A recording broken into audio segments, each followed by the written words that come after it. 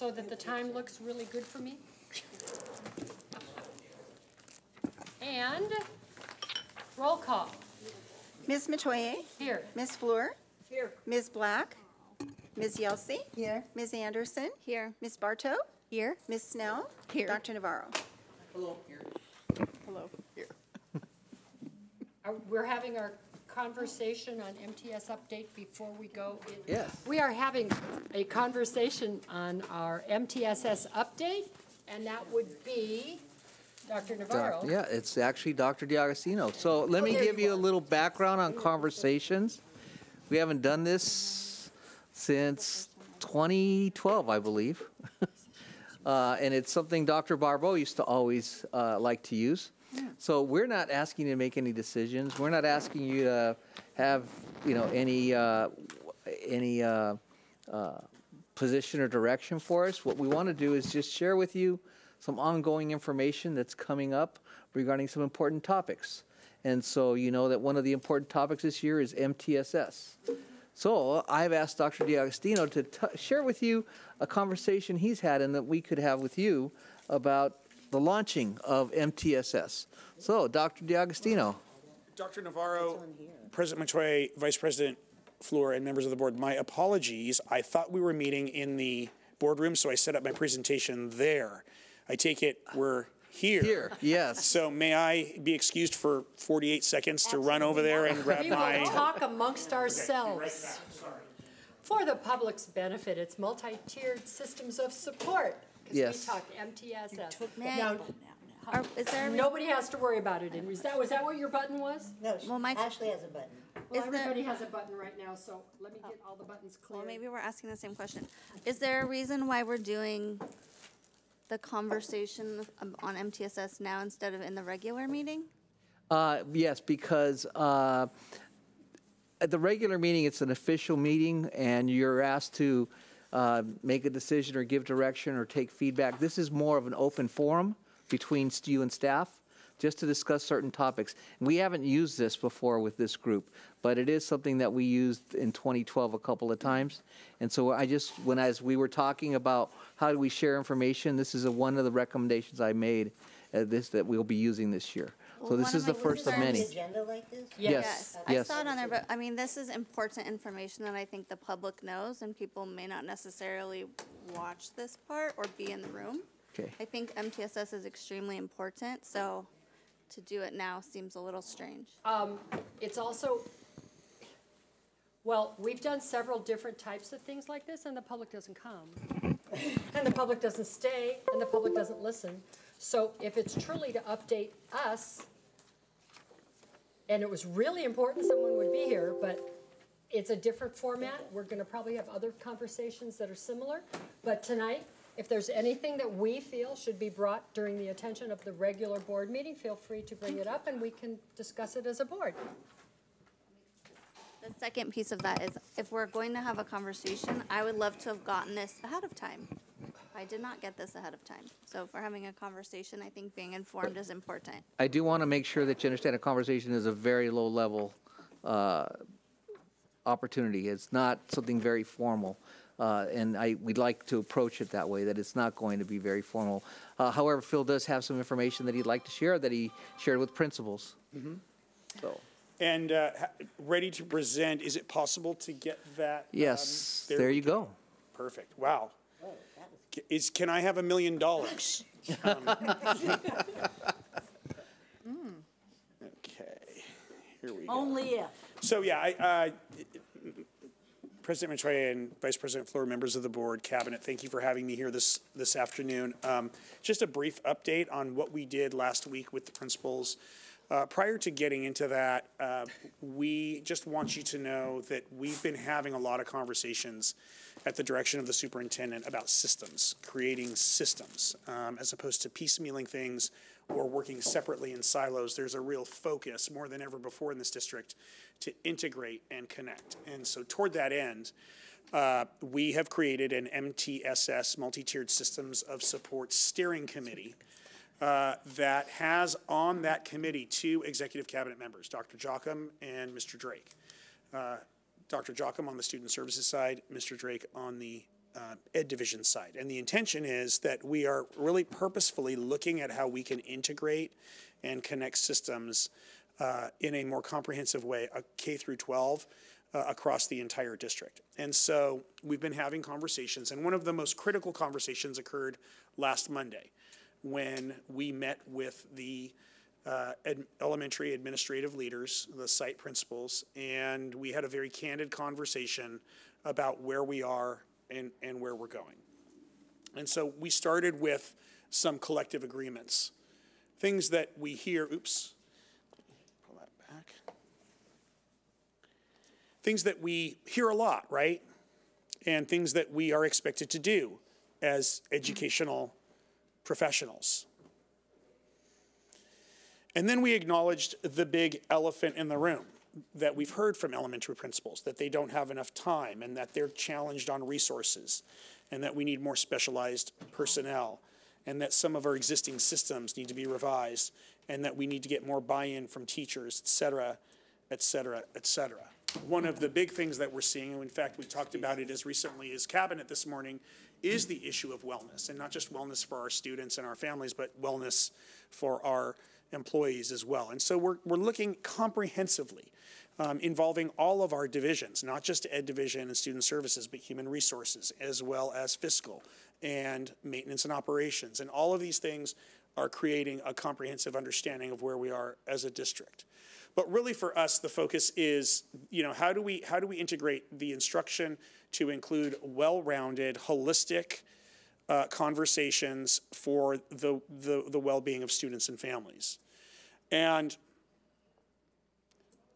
we then looked at the research on social emotional learning, and we oriented ourselves to making sure that these are the things that we should be focusing on.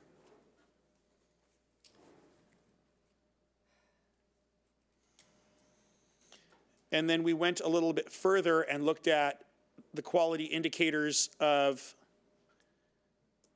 a positive school climate.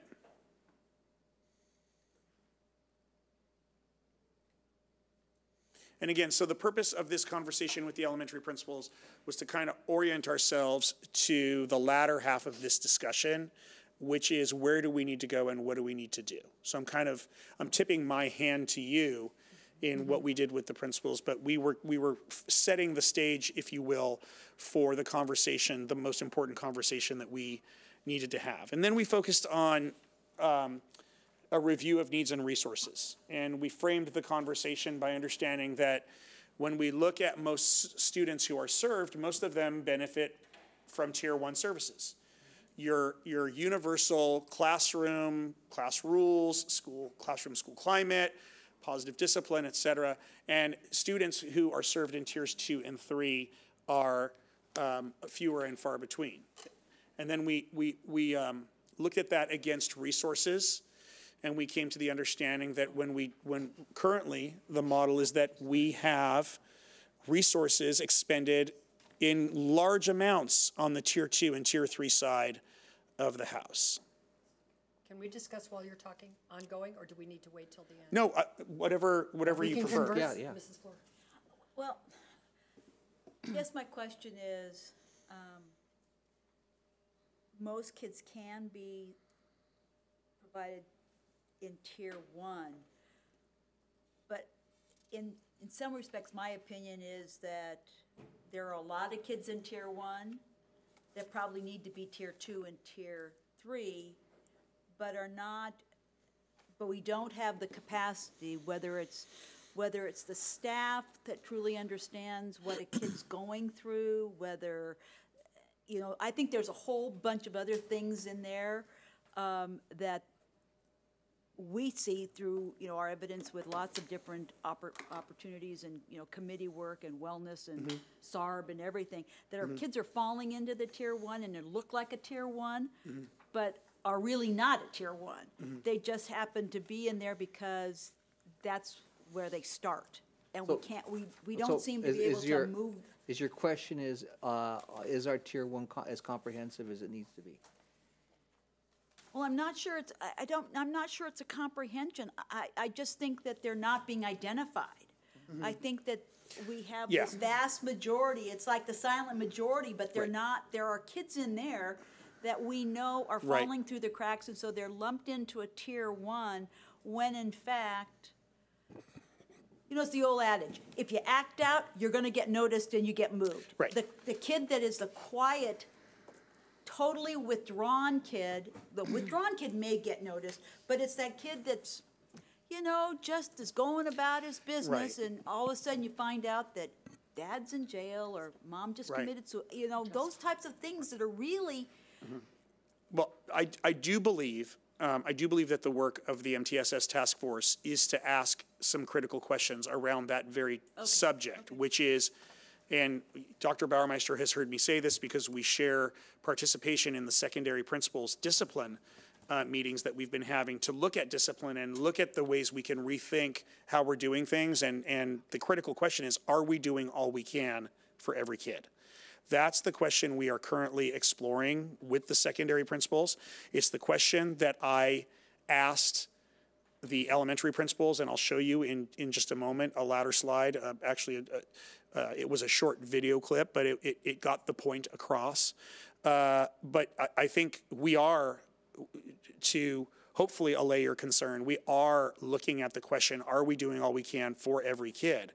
Um, uh, have we provided enough professional development for our classroom teachers in the area of socially emotional positive classroom climate? These are the these are the things that the that the MTSS steering committee will recommend as we move forward strategically as a district.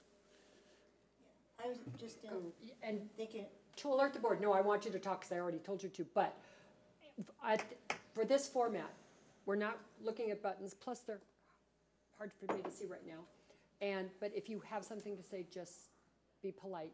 Wait- Wait your turn, but then speak. So Dana, I know you two both had a light up, so go ahead, thanks, Karen. um, just because I initially looked at that and felt how you did, but I think, you know, we, we historically have been the other way with uh, more in tier three, putting more of our resources in. And we've talked a lot about now taking it down to tier one, and I think that's important because, yeah, there are a lot of kids in tier one that need more services, but this gives us an opportunity to identify those kids mm-hmm. more and to, to have more of the, the resources that are looking at them before it gets to be a tier two or tier three. issue. Right. Before so- you do that, is the drop, it says, a view, review of needs and resources. In my mind, the purple is a need. But the resources should be kind of like a giant oval, because I don't want to take resources away from tier three if we need them there. I just want to add a mm. whole bunch more to tier one, but then I've Yeah. always been But accused if of we put spending them too more much in money. tier So- one, the thought is you We don't have might to not get. need it, but for right now, we're gonna need a whole bubble. Right, so, so to this, Ms. Metoyer, this was for the purpose of illustrating a point. That point being that m- many times in many districts, while most kids are captured in tier one, the amount of services, intensive services that are provided to students in tier three consume a significant amount of resources. Right. And to Ms. Yelsey's point, um, we believe that a new approach is required. Now, some of you saw this slide at the CSBA presentation that I gave, but when you look at the delivery of services, um, traditionally, we expend a lot of resources on the tier three end.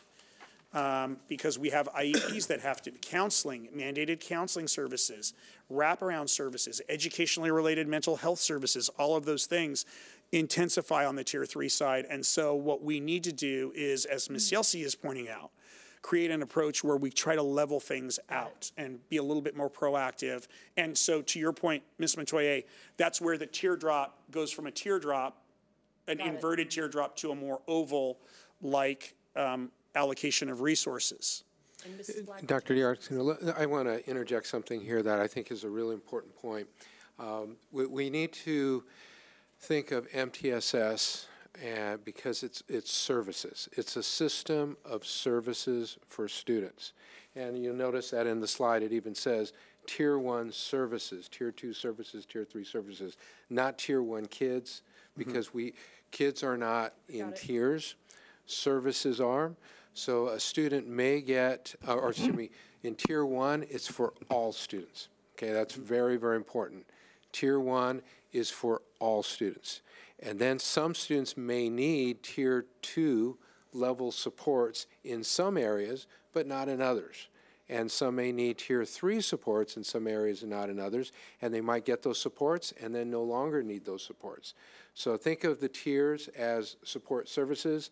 Kids are kids. Getting, and your point I think is very well taken, is every kid gets the support that they need to be successful, whether it's in tier one, tier two, or tier three, whether it's in social emotional um, uh, discipline or I mean behavior or uh, or academics. So so I, I just want to set us on, on the right track. That's very that's a very key um, uh, point here.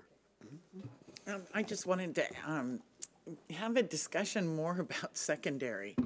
I know we always start in elementary, and, um, but I will, thank you, mothers. That was great. Apparently, I can't do it. Um, But for staff development, I, you know, as a board member, and I'm sitting, a long sitting one, so I'm probably moving the chairs up, you know, but I get so many calls of just desperate frustration from grandparents, mm-hmm. aunts, and uncles of secondary kids. And then they reach out because I tell them we have a process. You go to the principal, you go to, I mean, you go to your teacher and you discuss it. And, and it just seems, you know, not across the board because, you know, I will tell you, some counselors and teachers are phenomenal. But are we going to, are we going to all concentrate this on elementary? Or we have any staff development set up for high school or? We are currently having discussions, so, so where we are in the MTSS journey mm-hmm. is that we have established a steering committee Okay. made up of critical key personnel going all the way up to executive cabinet members, Doctors mm-hmm. Jocham and Mr. Drake. Right, no, I heard that. We are, we, we have gathered input. I think we have finished the information gathering, admiration of the problem phase mm-hmm. of the conversation. And now it's a matter of looking at what the principals are telling us, looking at what the best practices are, and then So secondary making principals, recommendations. Pardon me? secondary principals you've interviewed and? Yes, so, okay, so the secondary principal discussions are happening inside the secondary principal discipline conversations that I have been having, and Kirk has been attending those meetings. And then, as you know, um, uh, Doc, uh, Mr. Drake and Mr. Lee Sung have been leading principal, secondary principals discussions around academic metrics and things of that nature. And so, because uh, John, for example, is, uh, serves on uh, multiple committees. I'm on multiple committees. Right. Kirk is. We're, the leadership is hearing these things from different angles and different perspectives. I, I would believe you would. Mm-hmm. So I would be interested down the road just to be updated on that, you know, on this secondary. Another conversation. I know. Well, you know, you can text me. I mean, I mean, it's, because I don't know how we're going to fit all these conversations, and it's exciting and rewarding to know that everybody's working so hard, Mm-hmm. you know, identifying this. But but I also, you know, one, you know, will follow another. You know, and it's just difficult to be all things to all people, but you know, it's it's an interest of mine for I can't tell you from day one, you know. And now, now we're going to roll into the second half of the school year, and that's when the phone calls even become more because parents are becoming aware after first semester grades, something's going on, you know, and uh, whatever. So Right. Moving along. And so, uh, so what we did is, uh, now, there's, this is, I want to be absolutely clear about the conversation that happened surrounding this slide. Okay. we talked about additional, we, we shared with the principals the student services vision for additional support that we're looking at uh, in the area of SEL, because that's what they wanted to hear. What are we doing at the district level to support? And so, as you know, this idea of behavior specialists and elementary counselors has been bandied about. And in 2019, 2020, we have committed to hiring two behavior specialists. That was a part of the plan. Um, we also said that moving forward in 2021 and 2022, that we were looking at certain possible other hiring of personnel. But again, there's a big asterisk. I want to be absolutely clear about this.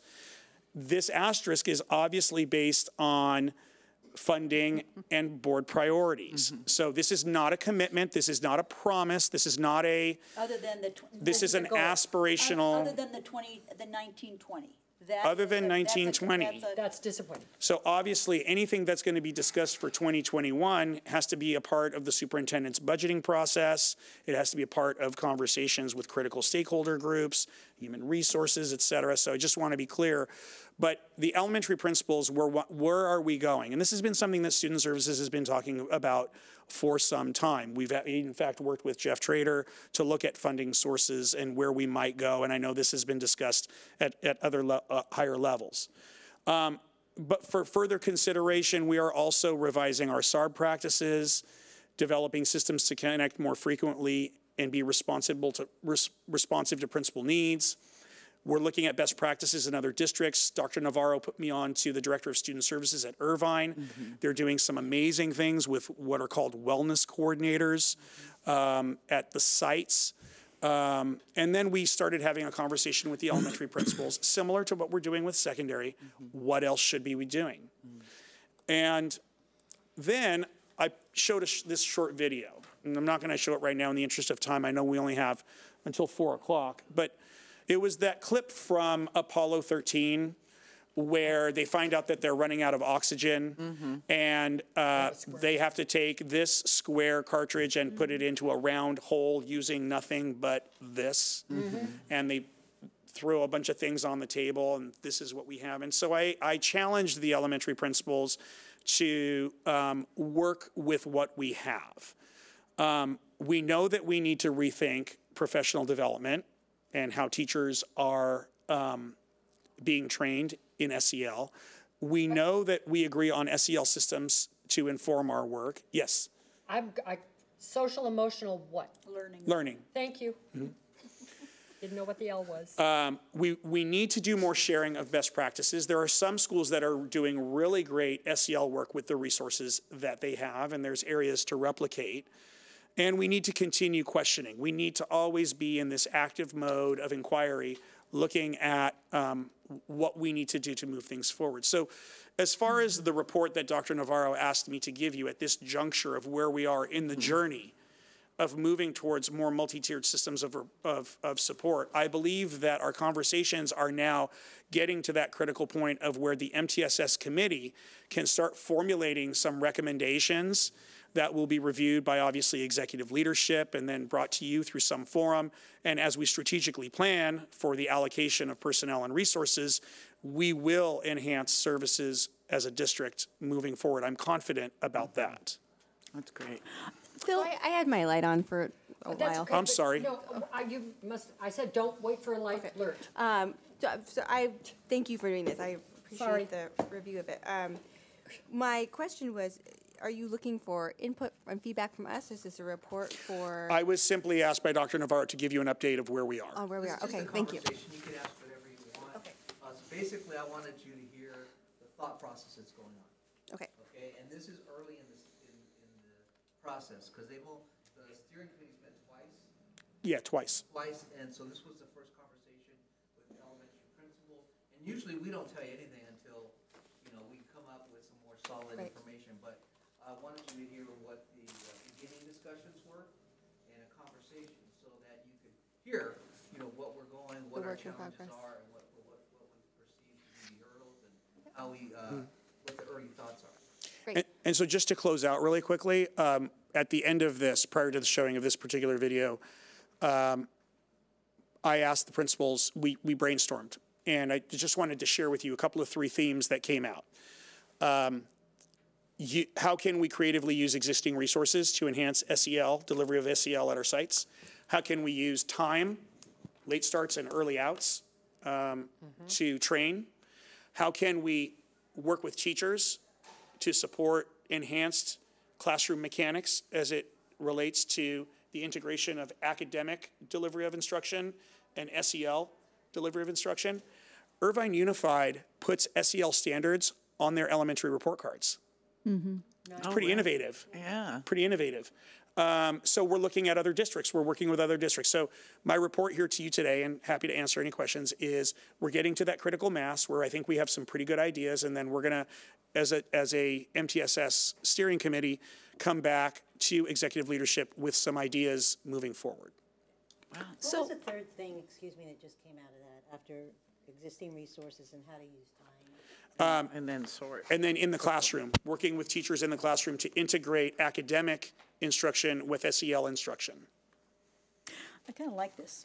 I do like this. Um, you have on the, on the la, on the page number four, on the last slide, it says other, which I really liked, because other. Yeah, like So what are we? I- 'cause I- Here's my 'cause- other. Because I don't know everything. And I, the answers are in the room when it comes to getting a bunch of That's principals right. together, So, right? so here, here's one question I have, and Mm-hmm. I'm throwing it out. You know, when, when kids, when my kids went to kindergarten, they met with the kindergarten teacher ahead of time, and they sort of did an assess, you know. Oh, an how- assessment? How many wheels does, is a wheelbarrow? Can you tie your shoes? And I remember also Diana Hensley and the forty developmental assets, you know, and That are the, ch- and the the checklist, the checklist. So does, are we prevented, is a school district prevented from doing that type of assessment? For every, for every Well, I think- I kid, think or what the- is, I think what we need to be careful of is whenever you do an assessment, you have to have ready some resources or if you identify a kid in need. You can't just do an assessment and not be prepared to intervene. But we also already are doing that. So kindergarten readiness, fall of kindergarten I- with I- the EDI, the That's early only Yes. development kids that have index. had it. I am, I, No, what every I'm just saying kindergarten is, student takes is, it. is there a mechanism by which there can be an assessment, like, like Irvine's doing the social emotional? Now, they're obviously doing some sort of assessment or some sort of observation or something There- within the yeah. classroom. They've universally applied second step. So the second step curriculum is Okay. universal tier one, every school. Every And school. e- Every school in the district, uh, at least through elementary, as far as I know. do we, ha- do we have We that? use second step. Okay. We use second step, but not necessarily in every classroom as a universal tier one. So again, Got it. in Okay. our districts, and every district is, is in Different. different phases of Got this. MTSS journey, but in our district, we are, I think we are poised to be prepared to deliver some universal expectations. And, and if you look at what's been happening in the last three to five years, um, systems, systems, systems, and um, whether it's safety systems or academic systems or social emotional systems, we're moving in that direction, and I see us systematizing um, the integration of academics and social emotional um, behavioral expectations. So I have two questions. Um, are you saying, do we have a social emotional evaluation? Or an index or what? Yeah, because when the kids do get a test when they come in for kindergarten. Not everywhere. Ma- So- Ashley, I'm telling you, that might be that one, but I'm said in general. It's not universal. We were discouraged from doing testing, but what I was told as a principal was it used to be used to say, for parents to say, teachers to say to parents, your child isn't ready for kindergarten yet. And what has to happen is, oh, these are the needs that we see that we can help this child have a successful year at kindergarten. So there are things in place, but we don't have anything that's exactly the same. District. Well, District Got it. So And that- that again, was- I'm not talking about just kindergarten, I'm just talking about, you know, those milestones of, is, Mm. is, is there a system or is there a tool?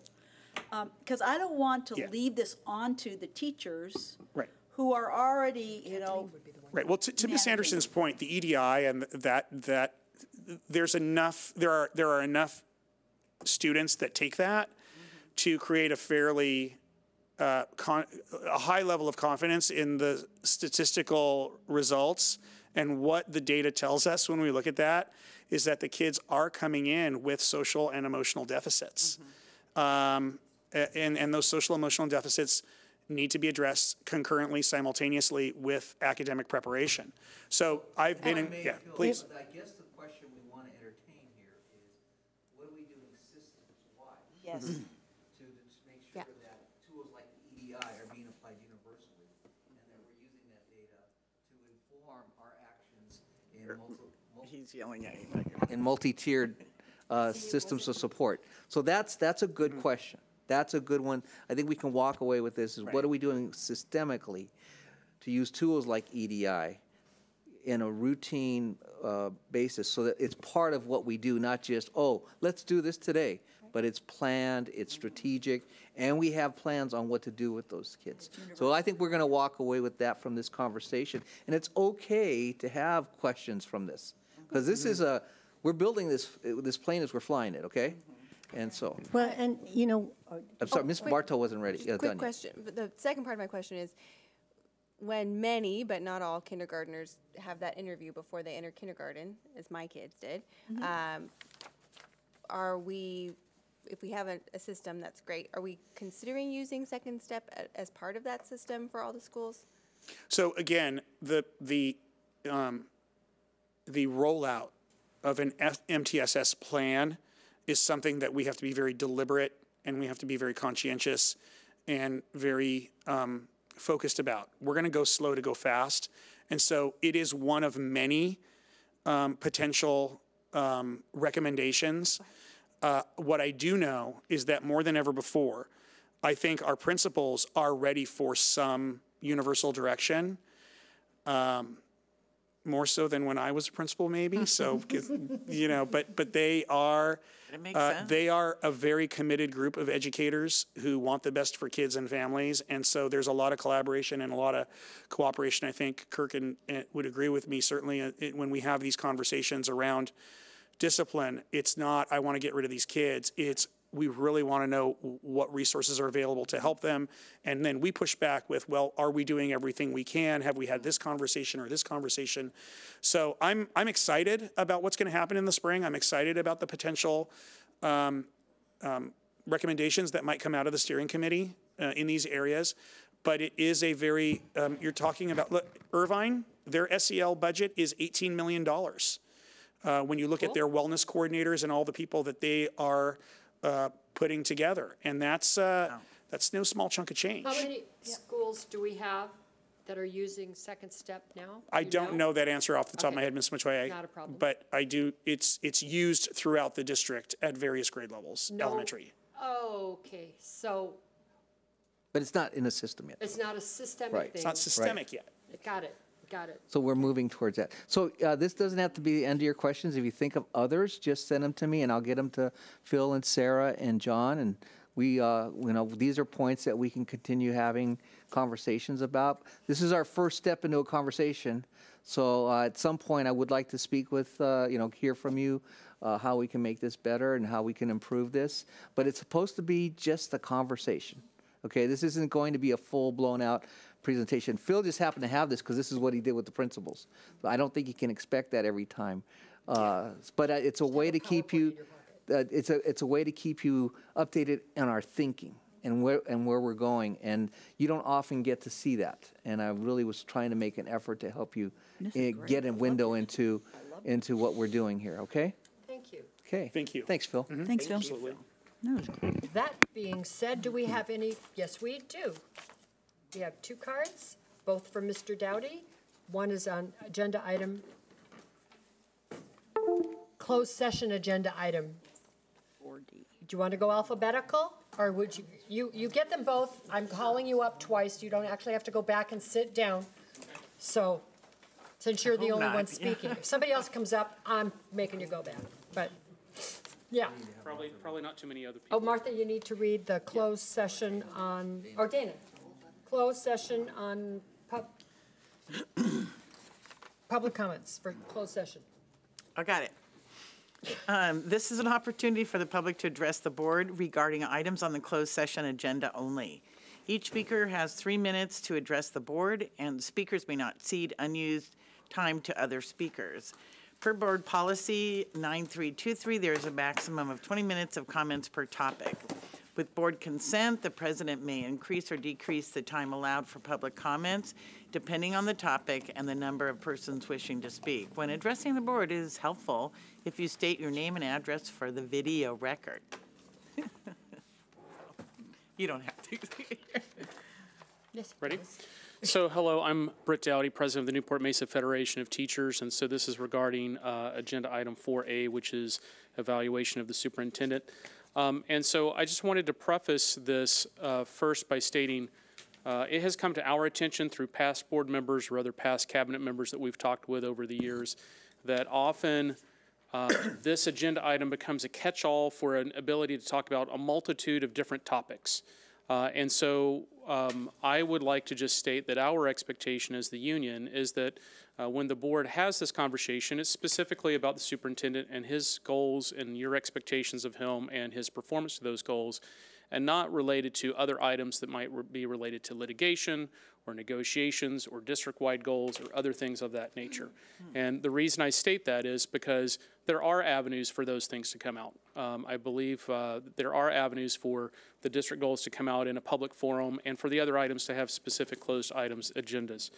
Uh, We uh, believe that every employee does deserve a fair evaluation. Uh, We uh, think that it's appropriate to start that process early. And so whatever you deem fit for Dr. Navarro uh, is your decision. Um, uh, If the board uh, uh, wants to receive input from the Federation, uh, we can provide it up- upon your request. Uh, That's not our purpose today. We just wanted to make those introductory comments. Thank you. Walk away, come back. Dr. Dowdy, number 4D.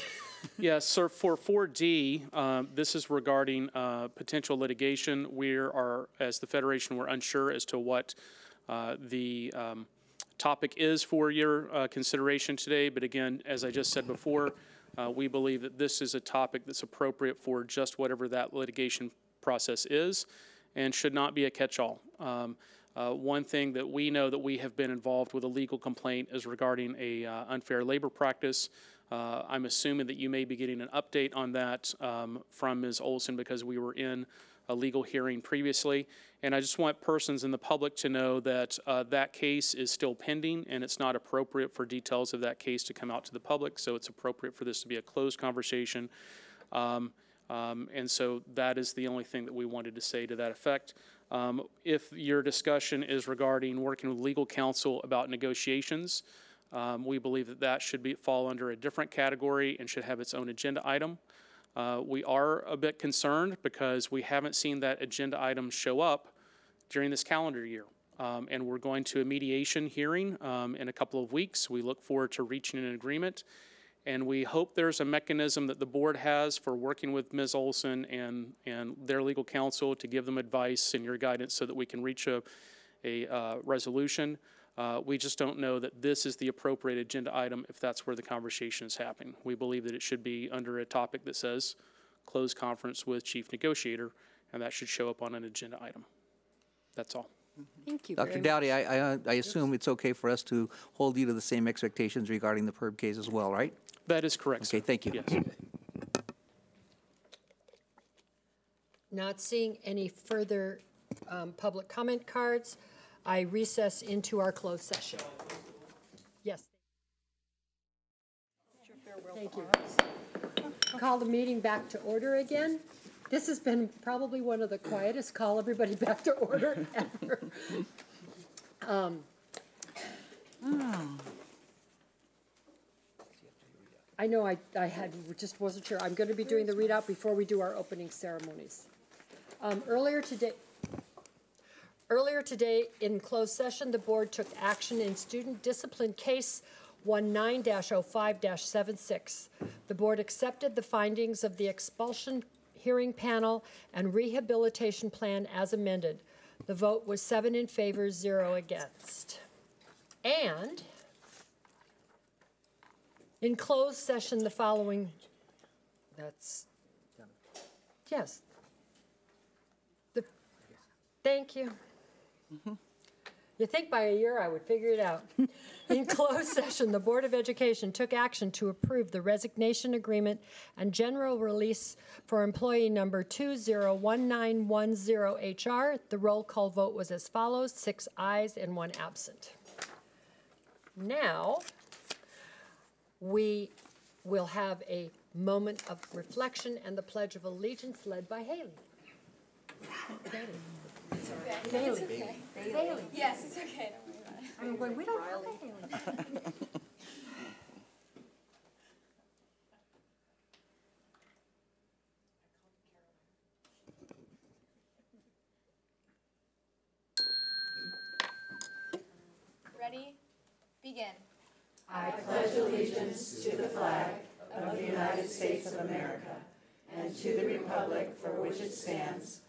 All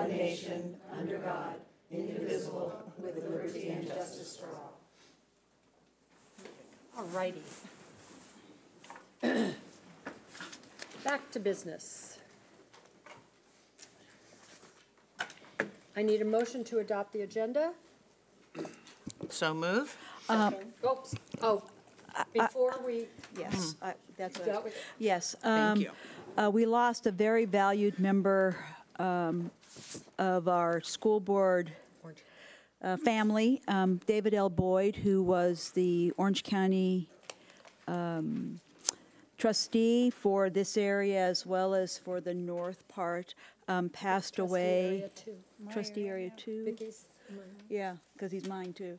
Um, and he passed away on November 22nd from a rare blood disease. He was a, a, a true champion of public education, and he will be sorely missed. So I'd like to adjourn in his memory, please. absolutely. Second. All, all those in favor? Aye. Okay, now I need a motion to adopt the agenda as added. Motion to adopt. So the- moved. Mrs. Snell, second. I'll second. Thank you. Mrs. Barto seconded. All those in favor? Aye. Opposed? Okay. Adoption of the minutes from November 19th and December 3rd. So moved. Mrs., Second. thank you. Mrs. Fluor moved, Mrs. Barto seconded. Anderson. Oh, thanks, sorry. Cool. Good correction. It was moved and seconded. All those in favor? Aye. Opposed? Seven zero. Annual organization meeting. Dr. Navarro, Mr. Secretary. Okay. I need someone to move to open the annual organization meeting. So move? So moved by Mrs. Black, Second? seconded by Mrs. Fluor. All in favor? Aye. Any against? Okay, seven oh. Okay, we are going to start uh, required appointments. Uh, ele- First on the list is the uh, election of the board president for 2020. Do we have any nominations from the floor? I nominate Martha Fluor. Okay.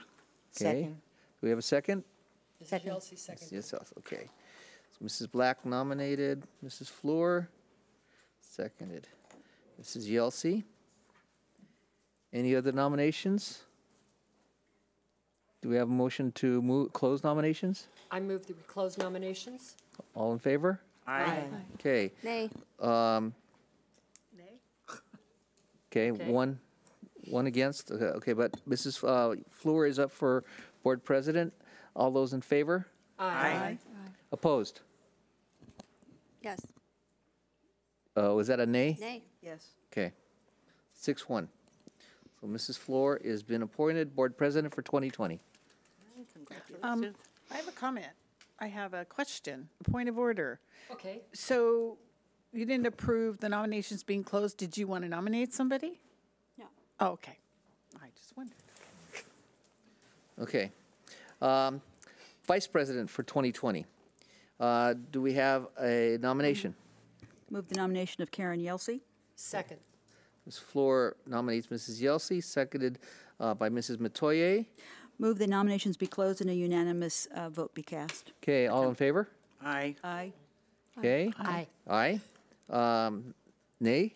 No nays? Okay. Uh, All in favor of Mrs. Yelsey uh, to be uh, vice president for 2020? All in favor? Aye. Aye. Sorry. Against? Okay, vote passes 7-0. Congratulations, Mrs. Yelsey.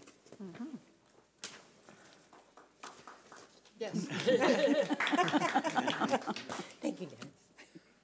Okay, uh, board clerk, uh, do we have nominations from the floor? I nominate Dana Black. Okay, Ms. Metoyer nominates Mrs. Black. Do we have a second? Second? Mrs. Fluor seconds. Any other nominations? I would like to nominate Michelle Barto. Okay, moved by Mrs. Anderson. Do we have a second? Can I second myself? No? Why not? I don't know why not. Yes, you can. Yes, you can. Okay, seconded by Mrs. Barto. Okay. Do we have a motion to close nominations? Move the nominations be closed? Okay, all in favor? Aye. Okay, first, uh, all those in favor of Mrs. Black for board clerk? Aye. Aye. Okay, uh, want a hand vote? let's do a hand vote. All in favor of Mrs. Black? One, two, three, four. Five? Five, okay. Okay. Five. All in favor of of Mrs. Barto? Aye. Aye. Two. Okay, Mrs. Black wins five, two. Congratulations, Mrs. Black. Thank you. Can I, I have another point of order. Um, Can you nominate yourself? Yes, Yes. yes. Well, darn. Did your pa- time pass? I'm sorry. My time passed. Okay, okay. Uh, Approve uh, election of crop res- representative. For the audience, CROP stands for Coastline Regional Occupation Program. They provide uh, career uh, support to us, as well as uh, courses for students who want to go into the world of work. I'm not up. It's actually for the alternate. Oh, it's for the Only alternate? for the Okay, alternate. Because you have a two-year term? I have a two-year term. Oh, there's what Okay. it says, right there. Mm-hmm. all right. So this is for the alternates.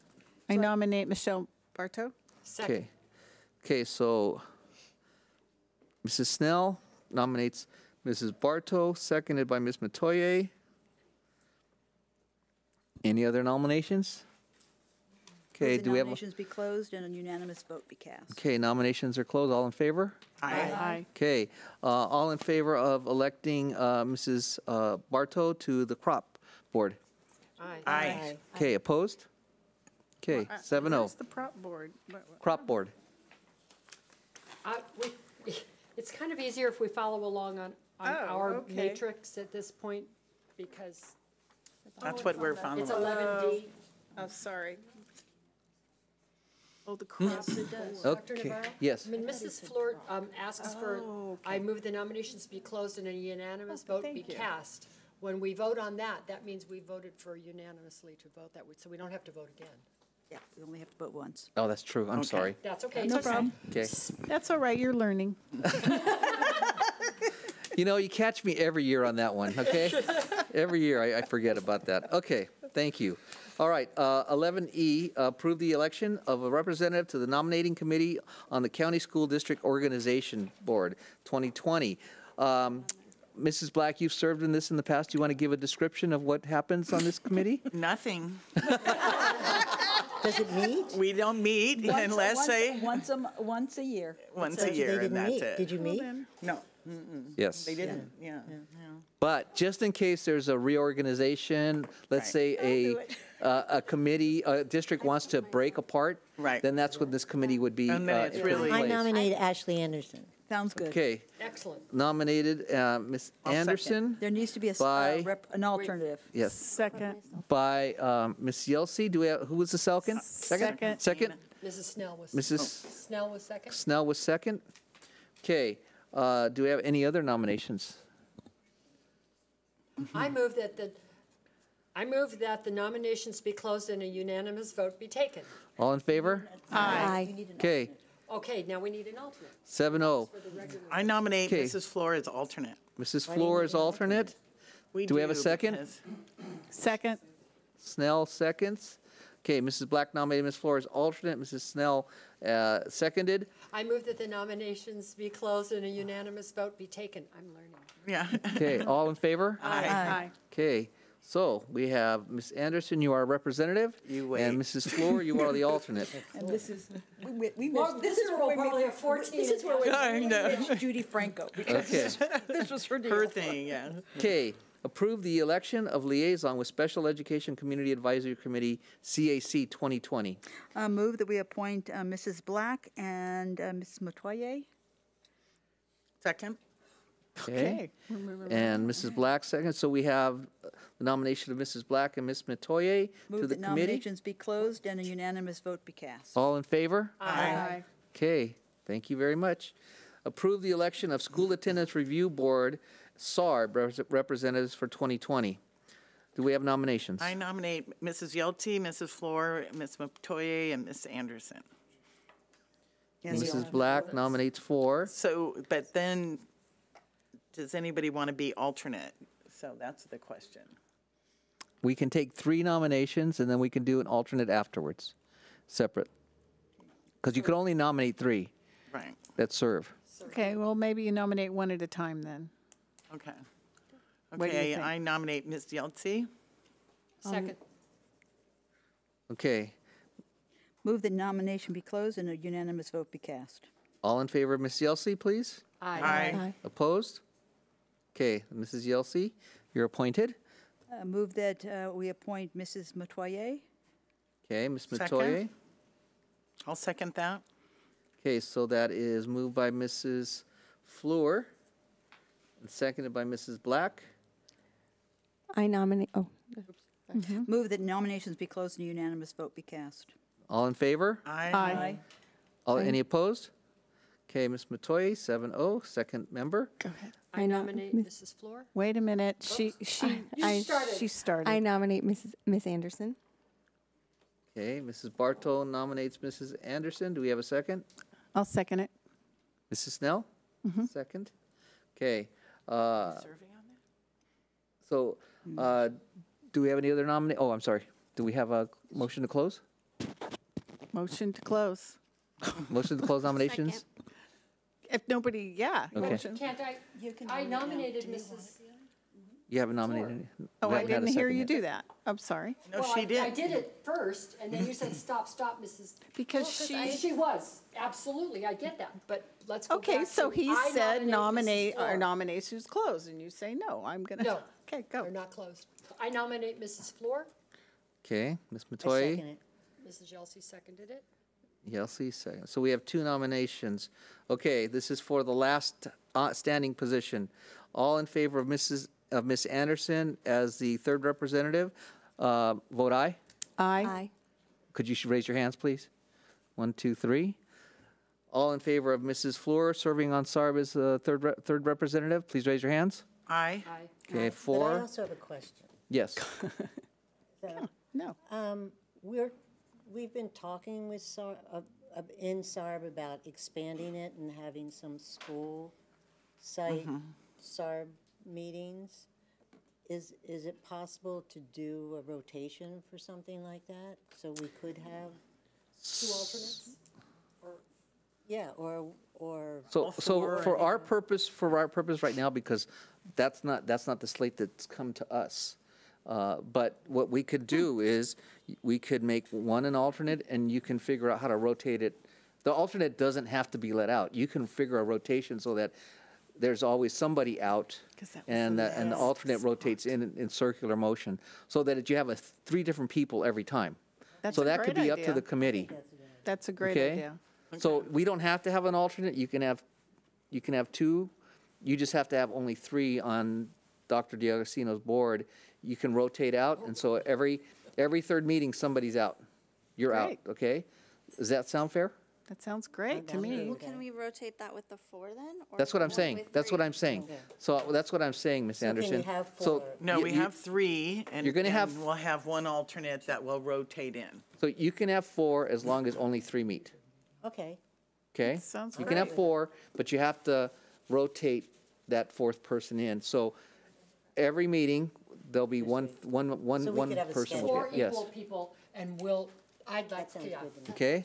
That's great. I move that we change the format of this to have mm-hmm. four equal representatives who are mm-hmm. really interested in it, mm-hmm. and that the committee as a group figures out who attends which meetings. I second that. Okay, s- so, Ms. Black, are you uh, I'm amenable to that. amenable to that? mo- Okay, so you, uh, That's fine. okay, so it's, uh, is, is it then, um, so is everybody, so let's uh, vote on Ms. Black's um, um, original motion as amended. as amended. Okay, all in favor of the second of the amended motion? Aye. Aye. Okay, so now for the last two, uh, That means all four. all four, they'll have all four. So we just have to have a, a vote on that? All in favor of the amended motion? Aye. Aye. Any opposed? Okay, so you'll all figure this out, right? Yeah. Okay, good. No, Sherry will figure this out. Sherry's still trying to figure it out. I think it's going to be Zoila figures it out. All right. Approve the election of representative to the Office of College and Career CTE Advisory. Do we have any nominations for the CTE Advisory Council? I'd like to nominate myself. Okay. I'm Mrs. sorry. I didn't Snell get is, my name right. Yeah.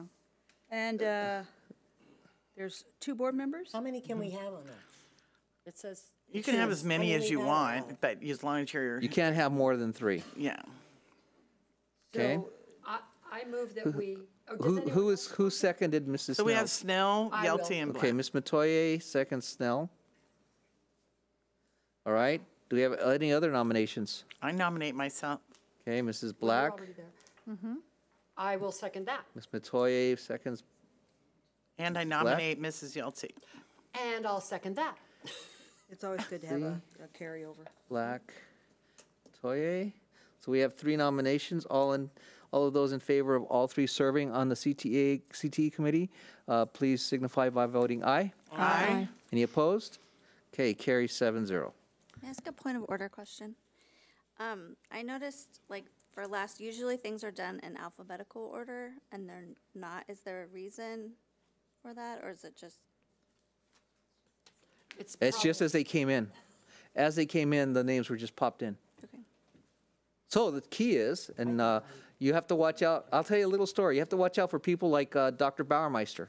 Because when I first got to Costa Mesa, the rule was whoever got to the, the, the master schedule first got to put their classes where they wanted.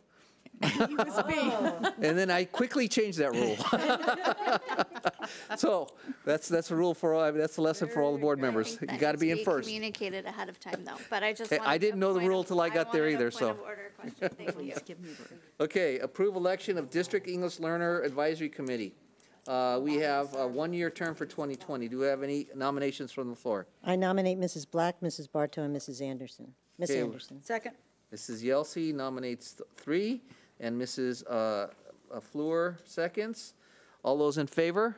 Aye. Opposed?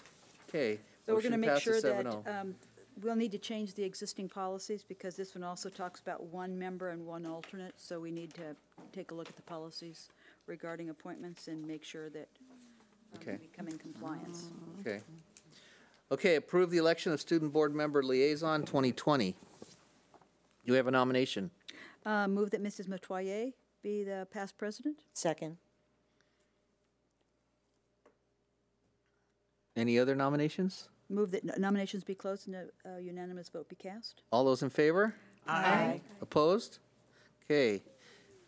Cool. Nomination. Move- Move the Flies. appointment of Dr. Navarro as the secretary of the board? Really, Sherry? I second that nomination. Okay, it's been moved and seconded Fluor and Metoyer. By, okay, f- uh, moved by Ms. Fluor, uh, seconded by Ms. Metoyer. All in favor? Aye. Any opposed? I don't get a vote. No, you don't. Move appointment of the assistant secretaries, the deputy superintendent, chief ac- chief- chief academic officer, assistant superintendent, chief human resources officer, assistant superintendent, chief operating officer, assistant superintendent, st- student services. Self- Student Support Services. I second that. G. Move the, u- move nominations be closed and the unanimous vote be cast. All in favor? Aye. Opposed? Congratulations. Okay. Uh, Approve the recommendation of chief negotiator um, for 2020. I nominate Leona Olson. Okay, Second? Ms. Metoyer moves, seconded by Mrs. Fluor. I All in move f- that the nominations be closed and the, and a unanimous vote be Ballot cast. All in favor? Aye. Opposed? Okay, motion carries seven zero. You want me to read all this one? Just say, Uh, yeah, go ahead. Okay, we- le- you know, let me, uh, you have to move it first. Approve the designation of management personnel 2020. Right, I move that. Got it. These are all self-selected, by the way. Yeah, the certificated personnel are the superintendent, the deputy superintendent, assistant superintendents, executive directors, directors, coordinators, mm-hmm. administrative mm-hmm. interns, principals at elementary, middle, intermediate, and high school, assistant principals, middle and intermediate and high school, classified appointments, Chief Financial Officer, Chief Operating Officer, Communications and Public Relations Officer, Executive Director, Administrative Directors, Directors, Assistant Directors, Coordinators, financial al- analyst, and facilities analyst. I have a question. Okay. Don't we have assistant principals at the elementary, and are they not part of the designated management group? I was going to ask about that. Is it assistant principals secondary only? Yeah. It said, Could you add uh, Assistant assistant principals elementary? yes. It's just Assi- a, Assistant principals, Assistant elementary, elementary. middle. And secondary. inter- wait, Elementary, middle, intermediate, and high school. elementary and secondary. Fine, I can say that. Elementary and secondary. And administrative directors as well. Oh, perfect. Okay, we new title, administrative directors. Yes. Do we ever have administrative interns, or do we currently have administrative interns? We've had, I Sometimes, was yeah. one. We have interns, but uh, you don't designate them with this authority because they're not employees. But there, it In- says in- that. It says that, they So I- were there. maybe we should take that one off. Administrative intern. Yes. Okay, Here we go. unless, We'll have to go over this list again, make sure it's, you want me to read it now? yes, please. Again, okay. The new list is as follows. Superintendent, deputy superintendent, assistant superintendents, executive directors, administrative directors, directors, coordinators, principals, elementary and secondary, assistant principals, elementary and secondary, classified employees, chief financial officer, chief operating officer, communications and public relations officer, executive directors, administrative directors, directors, assistant directors, coordinators, financial analyst, facilities analyst. Okay, do we have a second? Second. Mrs. Black seconds. All in favor? Aye. Any against? Okay, passes 7-0. Okay, now we are moving to optional appointments. Uh, So, Move the appointment of uh, Mrs. Yelsey. Ms. Barto, would you be interested in serving on that? It actually Oh, they doesn't, they meet, it's a mentoring program now, so it doesn't Oh, they don't have, all the time. okay. I mean, that's fine. It says that's it meets monthly, though. I got nominated for this by Mrs. okay, um, so, Fluor the first time I was on the board, Mm-hmm. out of nowhere. so, um, what's, what's your I'll second motion? Mrs. Yelsey. What's your motion, Ms. Fluor? Uh, That, that, I was asking Mrs. Barto whether she'd like to, Sure. Be I- okay. So I'd like to nominate uh, Mrs. Yelsey and Mrs. Barto. I will Okay. second that nomination. Okay, it's been moved by Mrs. Fluor and seconded by Ms. Metoyer. All in favor? Aye. Opposed? Motion carries 7-0. Approve the election of liaison with Costa Mesa Chamber of Commerce Education Committee 2020. Do we have nominations? I nominate Mrs. Snell, Ms. Metoyer, and Ms. Anderson. Second? Okay, seconded by Mrs. Fluor, moved by Mrs. Black. All in favor? Aye. Any against? Motion carries 7-0. Approve Costa Mesa Youth Sports Council Liaison 2020. Uh, Move Mrs. Snell, Mrs. Black, and Ms. Metoyer. Do we have a Second. second? Okay. It's been moved by Mrs. Fluor and seconded by Mrs. Black, then Mrs. Snell, Metoyer. Can I interrupt for a second? Um, so I, I think I would serve as alternate on that. Do you want to be the alternate or just have three members? I, that we, I think it would be better to just have three members. Oh, okay. It says two board members, but this is Never mind. optional. so This is one of those ones that I think Do you, that, wa- do you want to be an alternate instead? I don't care. I don't Well, we, care. we've been discussing it through the year, Yeah. you know, But so if somebody but an can't an come. alternate Okay. we work on it. We are really a good Okay, three-member we'll work committee on of it. making Okay. sure that- Except for last week when all three of All us three were of us were gone. gone. you know, Yeah. so. Okay, sorry. All seven Yeah, of they us met were gone. anyway. Mm-hmm. Okay, so are, we still have the three nominated? Yes. Okay, all in favor? Aye. Opposed? Motion carries 7-0. Approve the election of legislative representative for 2020. I nominate um, Michelle Barto and um, Ashley Anderson as alternate. I second. Second. Oops, And we Okay, could switch that. Uh, was that Mrs. Fluor? Yelsey. Yelsey, okay. Okay, it's been moved by Mrs. Snell to uh, uh, approve um, Mrs. Barto as a legislative representative with Ms. Anderson as the alternate, uh, and seconded by Mrs. Yelsey. I'm sorry, I said that. Uh, All in favor? Aye. Aye. Opposed? Motion carries 7-0. Approve the election of NMUSD Visual Performing Arts Committee Representative 2020. Since the way it's worded here, may I suggest that, again, this can be a three-member committee and not necessarily have an alternate? Is anyone in disagreement with that? It's fine with me. Okay. Then I nominate Mrs. Snell, Mrs. Metoyer, and Mrs. Fluor. Do we have a second? Okay, Mrs. Black. Okay, it's been moved by Ms. Metoyer, seconded by Mrs. Black, for Mrs. Snell, Metoyer, and Fluor to be part of the uh, Arts Committee Rep- uh, Council. Uh, All in favor? Aye. Any opposed? Motion carries seven oh. Uh, This Newport Beach uh, Chamber of Commerce has been deactivated, so we should Yeah. remove it from Right. the list. Or mm. is it back on? Get- No, it's not. It's not. It's not back on, so. We should live it. But if they ever do it, I nominate Miss Barto. I would second this if they ever. Maybe go- she I can go- get it moving I go to a again. lot of their chamber Well, when things, they do but the mentoring program instead. Yeah. Yeah, We need to take Yeah. that off of the list. Yeah, They 'cause just That would be really great. deactivate. We've talked about this multiple year, years. Yeah. Yeah. Okay. I move that we take it off the list. I'm sorry. Second. I'll second Okay, so we are going to skip eleven uh, T and go to eleven U. Oh, my gosh. Approve the election of the liaison with the Newport Mesa Schools Foundation. Do we have a I nomination? I nominate Mrs. Snell, Miss Anderson, and Miss Fluor as alternate. Second. Okay, I call, moved by Mrs. Black and seconded by Mrs. uh, Yelsey. Uh, All in favor? I. Aye. Opposed? Motion carries seven oh. Approved Policy Review Team, 2020. Do we have nominations? I nominate Ms. Metoyer, m- myself, and Ms. Fluor. I second. Is there a possibility that we could do a rotation on this one as well? To do what, huh? Rotation. policy? Oh, rotation, yeah, okay.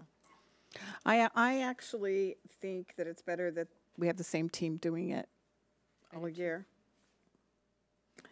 Why Do we have a second? Opportunity at some point to be a part of it. I know. Right. Do we have a second? I did. Oh, Martha. Mrs. Fluor? Okay, it's been moved and seconded to have Mrs. Fluor, Mrs. Snell, and Metoyer. Uh, Mrs. Snell nominated, Mrs. Fluor seconded. I have a point of order then. Can I be the alternate again? Yeah. Sure. Sure. Okay, and um, Mrs. Anderson is alternate, and uh, that's agreed to by Mrs. Snell? Yes. Oh, because I Read that made to- the Didn't need the answer original, from you, I thought. did I make, I made the original Yes, motion. do you- is Oh, that, yes, uh, okay, so absolutely. as amended to include Mrs. Anderson as alternate, all in favor? Aye. Opposed? Motion carries seven oh. Approve the election of the political action representative for the Orange County School Boards Association. Actually, if it's all right with the group, I would like to make myself the alternate, if anybody gets upset. So I move um, M- Michelle Barto and Ashley Anderson with Ms. uh, Ms. Metoyer as an alternate. Well, eh, this is one of those things that in the past, uh, well, it's, it's everybody can, all members can go to the, oh, go to this meeting. Yes. Yeah, but True, but have- I think it's good to have people assigned make to sure give a that they go, report. right? Make sure that they go. Yeah, okay, Yeah. yeah. Yeah. Yeah, I so, second it. so you guys are must-goes, okay? Okay, all right, seconded by Ms. Anderson. Okay, so nominated uh, by, um, moved by Mrs. Black, seconded by, by Ms. Anderson, that uh, Mrs. Barto, Ms. Anderson are the representatives, and Ms. Metoyer is the alternate. Yes. All in favor? Aye. Opposed? Motion carries 7-0. Approve the election of Wellness Advisory Committee representatives. I nominate Mrs. Yelsey and Ms. Anderson. Second? Okay, move. I move, move that we close the nominations and unanimous vote be cast. okay, it was moved by Mrs. uh, Metoyer, seconded by Mrs. Fluor. All in favor? Aye. Hallelujah. Can I, wait, I have a- an addition perhaps. Okay? Um, Last year, we start, we, the mental health task force was started, and um, I was on it, and Mrs., Ms. Anderson was on it. We kind of self-appointed ours from the begin, ourselves from the beginning, but I think it probably should be on here. And I got, I just got notice of, for a hold on the meeting, so I didn't know. That's a good question. So is that, But, uh, and if we have that as a committee, I would like to be on it again, so. me too? And can we ask? But that doesn't stop you forces, from Well- attending the There's a meeting. You task just can't force vote or, you know, versus- participate. I said, is that the difference with like the Human Relations Task Force that we can all go to? or- Well, I, I think anybody, it's, it's very similar to the wellness, adv- I mean, to me, it's the same thing as The the wellness wellness should be a task force, but Yeah. it's not, so. So I believe this is a, uh, uh, everyone's invited and y'all come. Is that right, Dr. D'Agostino? So this is a, all- y'all Let the come. record show he nodded yes. The only problem is we can't have more than four of you because we violate the Open Meeting Act. So you don't even have to have it, you can all go, we just have to make sure you coordinate, But we don't if you're have. not discuss, if you're not making any decisions, I mean, Still a- there's a lot of these that. Yeah, but we would still have to notify if we had four, we would have to Then notify I'd the like public to that have you're it on meeting there, together. and I would like to be on it. So, so, I would as well. okay, so I'm going to nominate Mrs. Yelsey, Mrs. Anderson, and Mrs. Metoyer to serve on the uh, Mental Health Wellness Mental health task force. Task Okay, Force. since we don't have this on the agenda and we didn't publish it, okay. we need to bring it to your next meeting, Okay. okay? All right, uh, I move that we adjourn the ag- annual organizational meeting, Um, I have, a- I have a comment. okay? But wait, there's more. There's more. Um, so, um, I know that, um, there's some other committees, and I just, I wanted, I meant to talk to, um, Ms. Anderson about this, but I know that you're on the Early Childhood Committee with the city. Is that as, um, a school board representative, or what Yeah, is that? Would be one that would be good to add. Okay. So we should. So we need to add. So that next time, we need to g- get information and add it next time. Does the city have to request, the Um, Yeah, city has that's what I was gonna request- say. Uh, we'd have to work with the city, because they need to request official board representation. Okay. Uh, Otherwise, you'll be there as a private citizen, which is fine, you know, you can do that. Uh, But uh, when you, when they ask for representation, then you appoint someone to be the official voice for the board. So we Right. will have to reach out to them and find out if they want an official board representative. Same thing with the walkability committee. I'm not sure if that's, if, in what capacity. That's a Kirk question. Kirk, Oh, Dr. Lee-sung, Mr. Lee-sung, So Kirk is on the bikeability, that's fine. Kirk, yes. Kirk. Um, I believe uh, I'm the district liaison on that. I was uh, asked, uh, I believe the mayor asked Dr. Navarro for me to be on that committee. Um, since I live in the city and run all the trails and all those kinds of things, I think that's why they asked for me to be on that committee since I live in the city. As opposed to a And- board and- member. And I actually believe you, that appointment um, came to us, and we approved, we approved that Yes, you appointment. did. We approved, it came um, at a request from uh, Mayor Foley. Yes, about three years ago, I believe. Yes. It's been a while. I, ju- I just think that if a board member is on a committee, i- yeah, yeah, and it needs to be listed so that, you know, we know. I mean, even if you're on the committee before when you're not a board member, when you're, it, it's a different thing. Yeah, okay. So I think Well, we and I- should and I reach think out to the city we will. or just put it on the dang list. Well, Right after mental health task Just force. mental health. Next, for the next meeting, we'll add that one. Yeah, Okay. Uh, but we'll add those. whatever. We'll Well, add I think those. it's important, because I think if you know ahead of time that you can schedule your year Yeah. with those meetings, Yeah. and then, and then give a report, because those are, Yeah, because I'm interested in Right. knowing. Also, I I believe we, we were, ta- we tackled this at one point in policies, and I think there is, a there is a policy regarding, um, Generally the speaking, if I requesting- remember, if memory serves me, uh, uh, it is when you're uh, requi- requested as an official board member. That official. that is what needs the board approval. right. So we could just uh, pass those out and you can all sign up on your own without having to have a vote. Okay, but we will get those to you. so we have a few things. This is, uh, Okay, Oh. In recognition Oh, She wants it recorded. For all time. Yeah, she does. It's So, um, this is the official, makes it official. Notice they didn't give me a real gavel because they know I would probably use it at home. Yes, she Will would. dinner please come to order? Yes, she would. Thank you. So we have a few things here. Um, we have a a couple. So, um, on behalf of the board, uh, I know what you really wanted, so as you open Oh. these, then we'll, uh, I'll, ex- we'll explain. Is there an order? No, thank you. Ooh. Crushed it. Aw, thank you all. Welcome. It's one of those real nice cards where they tell you you were great. Mm-hmm. I'll take it, you know, on any given day. I actually, I actually said you met expectations. You met our, didn't exceed, I didn't exceed. There's always something to strive for. Okay, I happen to, just big time holiday, so this is the Green Holiday Cup mm-hmm. Plus. My zone is the Costa Mesa High School Cup, so Oh, this will get multiple uses. Oh, that's Thank you right. very, Open it very up. much. Oh, open it up. Ooh, Ooh, That's so you can buy more cards. that kind, I could buy more cups. More cups. I wanted a black one because I like to coordinate with what I'm wearing. But they didn't make one, so, or they did it four years ago and they're now like ninety dollars, so never mind. I don't want one that bad myself. Oh, that's an IQ test. Thank you. Ooh, Open up all of them.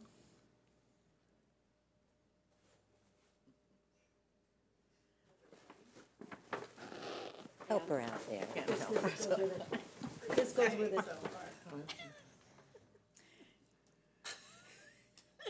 They're It's a- transfers. it's a T-shirt transfer. Are these for my walking shirts? Well- Or green? She wanted something that identified that she was past president. Oh, yeah, I thought that it should So- be down there on the little thing where it says So- board member, just say So, past president. so she can make up three shirts That say past that president on make it. past president or whatever she wants to Oh, say. Oh, thank you.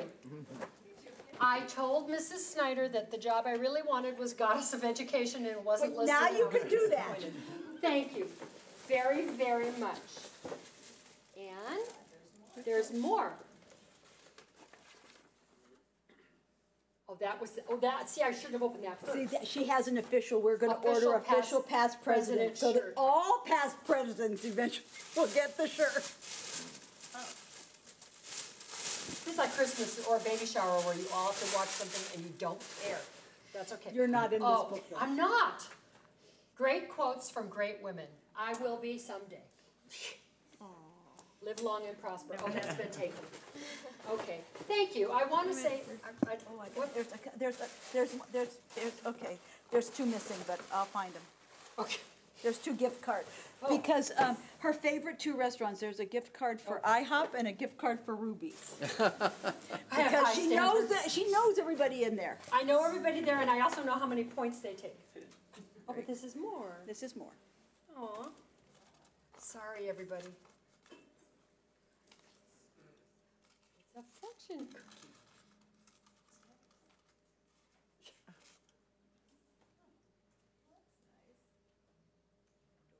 I have to open it up. No, I'm sorry. Because it's one of those charm ones, you can put different charms in it. Oh, I can put, it doesn't say past president. No. No, it doesn't say past I need a little past president one. I have to order a Oh, it has, but it's wonderful. It has a tennis shoe, because Mrs. Snell and I have been walking like crazy people. We have, by the way, for those of you that care, we have four more schools to go, and that's it. This is It Flora. has, Mrs. Flora, I knew that. It has an apple, because I was a teacher, and it has music, because no matter where I go, I sing all the time, whether people like it or not. Thank you. That's very cute. That's definitely me. Thank you, thank you, thank you, thank you. And it has been an honor to serve with our cabinet and my fellow board members. You are all amazing. Student board members, you rock the house, and we are dead serious when we say we want your input. And while I love being president, it'll be a, a relief to be sitting down with you guys, because that's way more fun and lot less time consuming. And I know that our board is in more than acceptable hands. So thank you, thank you, thank you. And with that, you can adjourn us. No. No, we can't adjourn us, he has to recess us. Well, I'm going to adjourn the organizational meeting, and we are going to recess to change seats. Okay. Do you have any goodies? Yes. Okay, and there are, and there are goodies on the, on the table out there for the recess, okay? So go enjoy, and uh, let's give uh, Shar a round of applause.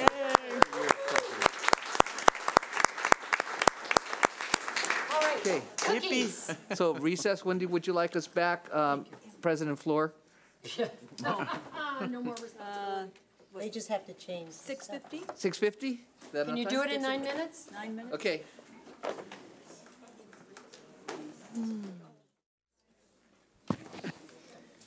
Um, This is an opportunity for the public to address the board on items within the subject matter jurisdiction of the board policy.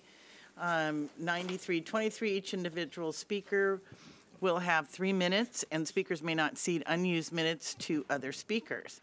There's a maximum of 20 minutes of comments per topic. With board consent, the president may increase or decrease the time allowed for public comments, depending on the topic and the number of persons wishing to speak. The board staff or members of the public may request that a specific item on the consent be moved to discussion action. Requests to move consent items must be received prior to the time the board takes action on the consent calendar. All comments are recorded in full on the meeting video record. When addressing the board, it is helpful if you state your name and address for the video record.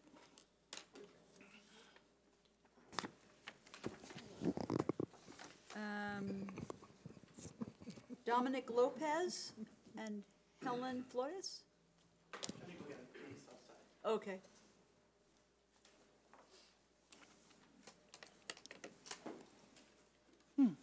And then uh, Joe Fischetti? You'll be next, after that.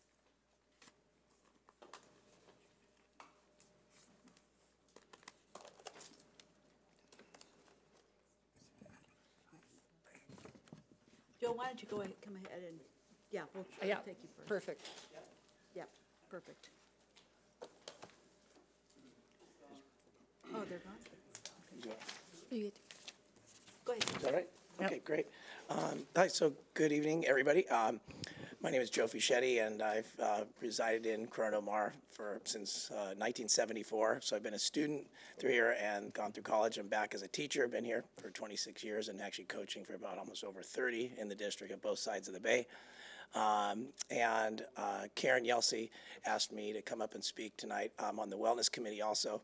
And um, we've been talking about safety a lot in our area, and I work at Ensign Intermediate School. And just a little over four years ago to the date, uh, my brother was passed. My brother passed away. He was hit by a car at um, 17th Street in Rutland, and um, died a tragic, like, fairly tragic death that day. And uh, moving forward over the four years, there's been different things, and there's been more accidents in the area.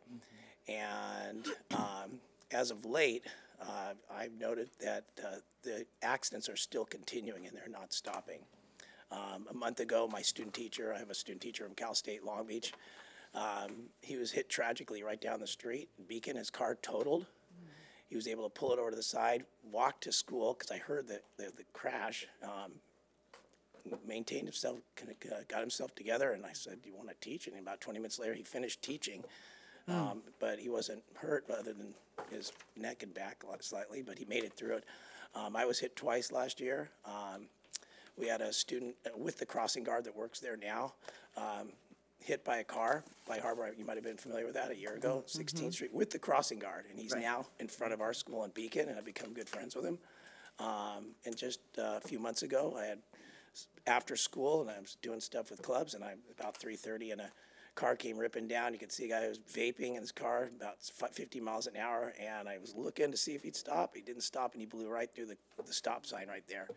And Ensign's designed, as it used to be a school district, not a, sc- or a school district office, there's no um, sidewalks and so forth. And if you've ever been there right when school gets out, it's pretty intense. So I don't have an answer for this problem. I'm here tonight because I'm going to retire in three or four years, and the next generation and my kids. And um, we have a house in Corona Mar. I reside in also in Irvine, and I would never want this to happen to anybody um, or their kids or family and go through what I've gone through. And my mom now is suffering health issues, and Leona, I have kid care days now that's a result of that. And she's in her 80s and she's housebound. So I don't have an answer. The police can't be there all the time but something's got to be done to stop it because it's still continuing. And if you don't live in the area, you haven't watched the news, it does. But on a daily basis, things kind of happen.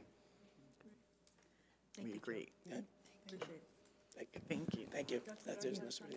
Um, you know, I think that, uh, the, Mr. Fischetti doesn't know this, but our, our staff is often in communication with the city planners, uh, the traffic engineers, and, uh, there's a lot of discussion. We have a couple of projects, and you know that we've had a couple of projects sprung on us that we didn't know about and caused complications for us and for our students walking out of an elementary school, for example. So um, I'm going to ask that um, Mr. Holcomb have one of his team members maybe have a conversation with you.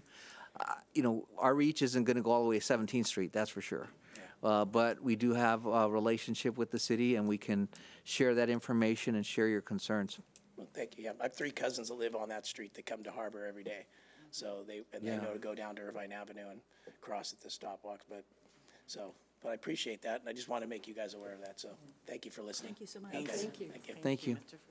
Uh, Dennis Ashendorf.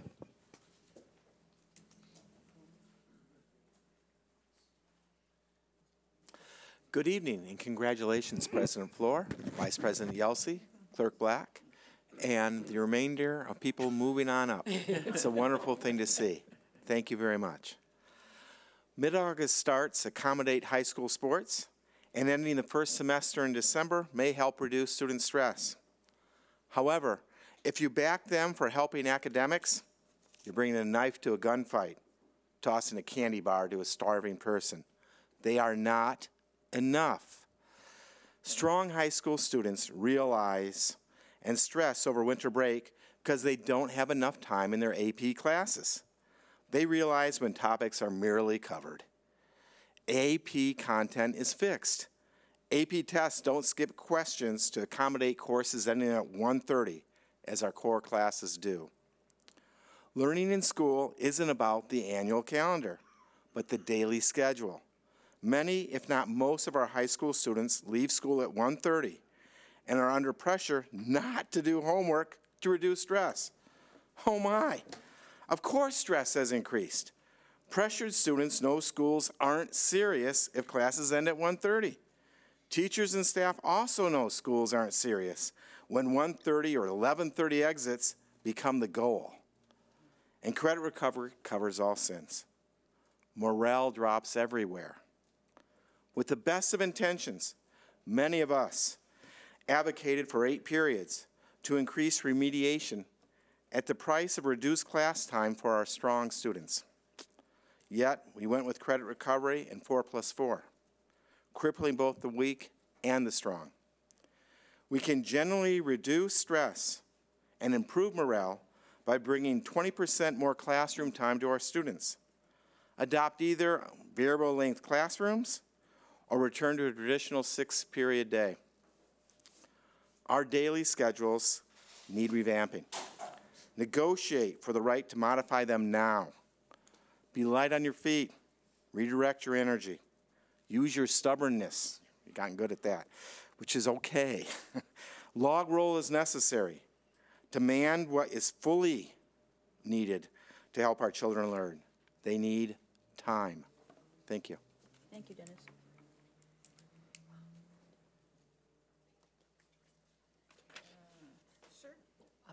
I believe so. Let's ask President Fluor. Oh, sorry. Did, did Bailey's light go on? Uh, now, now it's on. Okay, so, Am I allowed to say something? Absolutely. Okay, I just wanted to say that I know that for Newport Harbor and um, probably and s- for CDM as well, we're changing our schedule next year so that the summer is shorter, so that we have finals before Christmas break. And I know that that will help the AP and IB classes because the AP classes can only start so late in a year, and this was a little bit troubling. But now that it will start, the school year will start earlier next year, it will help the AP process go faster. So that's why I think that's a good move towards decreasing stress, is that happening next year. Thank you, Bailey. thank you. Okay. uh, Britt wanted to. Okay, I'll call Steve Ray.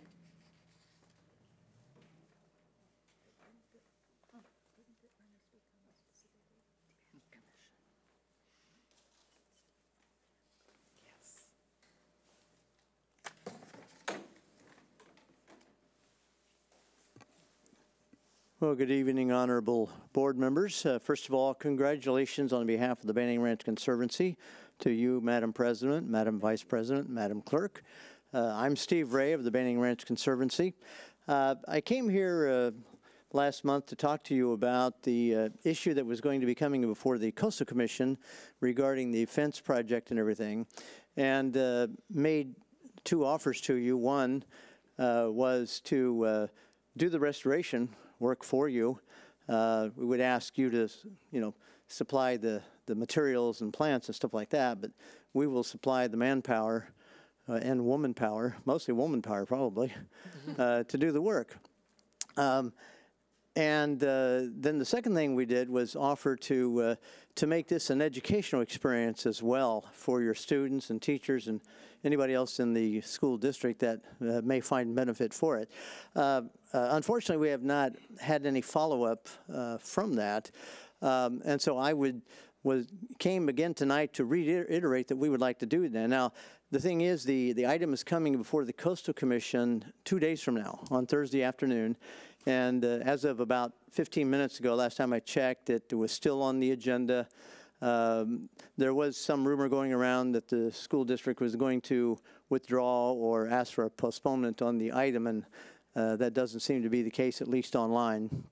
So I presume it's going to going to go forward. Um, we're going to speak at the Coastal Commission uh, on your item, and we're going to uh, reiterate to the commission the offers that we've made you, and that we, uh, you know, hope to work with you and. Uh, uh, participate in this project. We think we can make it an, an absolutely wonderful exercise uh, for your students and your teachers, and however we can arrange it with your classrooms uh, to bring students out there to actually do the restoration and learn what it's about, why it's important, and, and how to do it, uh, opening up some, uh, hopefully some, some eyes to the wider world beyond and even maybe future, uh, uh, you know, environmental careers in the process.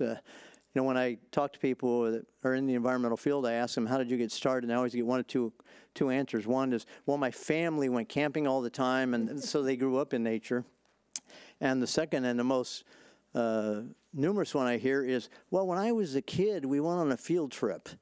And uh, so this can be a field trip into your own property uh, for your students. So we look forward to trying to help. Uh, I am going to leave a card right here on the table, my card, if anybody would like to call me and talk to me about it before Thursday so that we can try to even coordinate our message and, and uh, work toward a better future for that project, we would be happy to do so. Thank you very much. Thank you. Um, Mr. Ray, thank you for that. I appreciate your offer.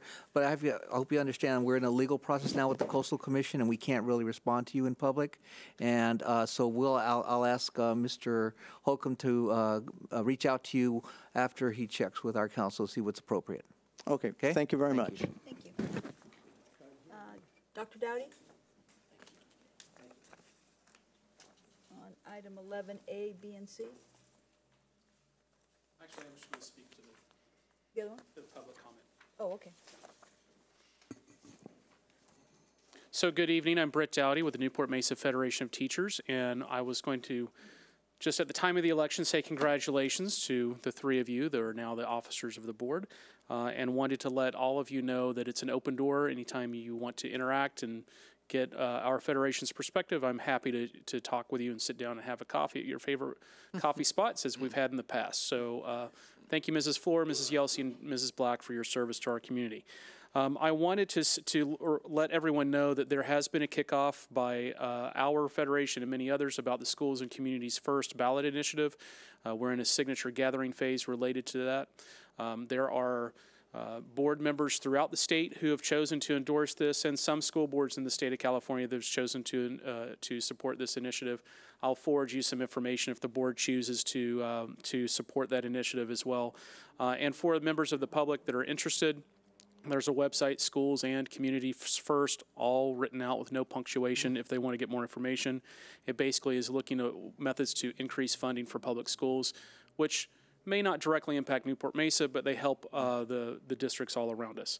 Um, secondly, um, I want to remind the general public that there is a very important uh, uh, education election in March. The Orange County Board of Education race is in March. It's a one and done. It does not move to the November election.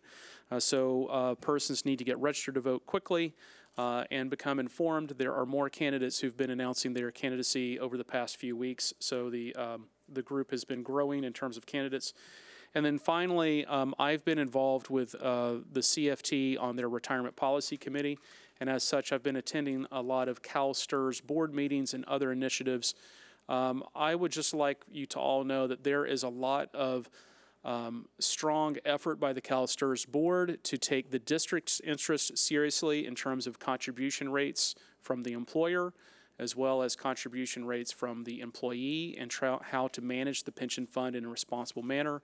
Uh, also, they are taking uh, some pretty strong strides towards looking at long-term investments as it relates to climate change issues and how long-term changes on real estate values and insurance claims can impact the pension fund. So there's a big, complicated effort that's on in play.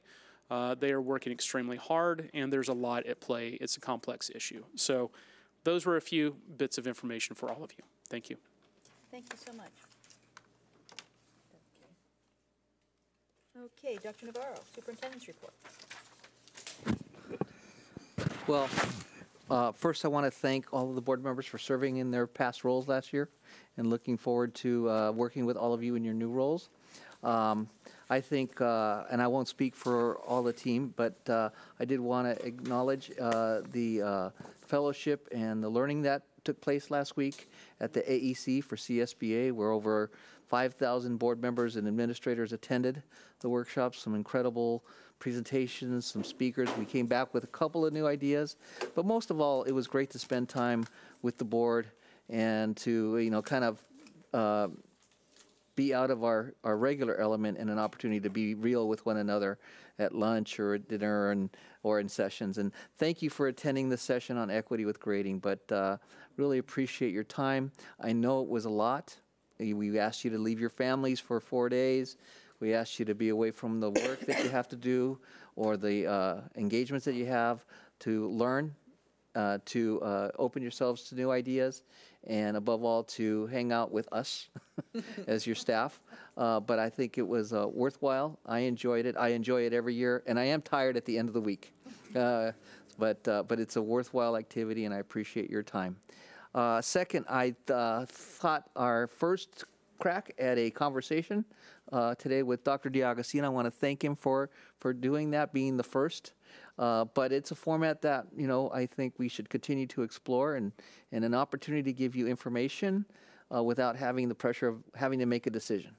Uh, but rather just to learn and get and absorb and maybe hear how we're moving forward on some on, on many of your priorities and, and, and initiatives. So uh, I look forward to doing more of that and planning that with uh, President Fluor, uh, as well as planning with her an upcoming workshop with AALRR on uh, proper communication protocols, both digitally and through any other formal matters that as you as board members participate in. We know that with uh, all the recent law changes over the last five years, that uh, we uh, have to use uh, protocols to provide each other effective and lawful communications. So uh, that we'll be working with Mrs. Flo- with Mrs. Fluor on identifying that date and that workshop. Okay, student board members' reports. Bailey. Hi, I'm Bailey Bogard from the Newport Harbor from Newport Harbor. Um, academically, the International Baccalaureate first year students had a meeting yesterday morning to discuss their extended essays and their topics. And the second year students just finished their essay reflection, so they're completely done with that process. Athletically, boys basketball and girls basketball are going strong as they both have a winning streak thus far through their season, and we're excited to support them. Uh, recent events that occurred. The first was Dinner Theater, um, our production titled Women in Love. Uh, went through all weekend with one act being written and directed by a sophomore on campus, so that was an amazing first for our school. Secondly, our school cleanup was this Saturday, and we got a great turnout for our second year of doing it. We're hoping to continue the event next year as well. And upcoming events is the Holidays at Harbor Vocal Music Concert this Thursday and Friday in the theater, which is a great fundraising opportunity for the choir program, as well as an interactive family event, so that's super fun. And for unique information, Adopt a Family just started up in our fourth period classes, and we're collecting the presents on Thursday. And we're very excited to continue this Newport Harbor tradition. So, thank you. Catherine from Costa Mesa.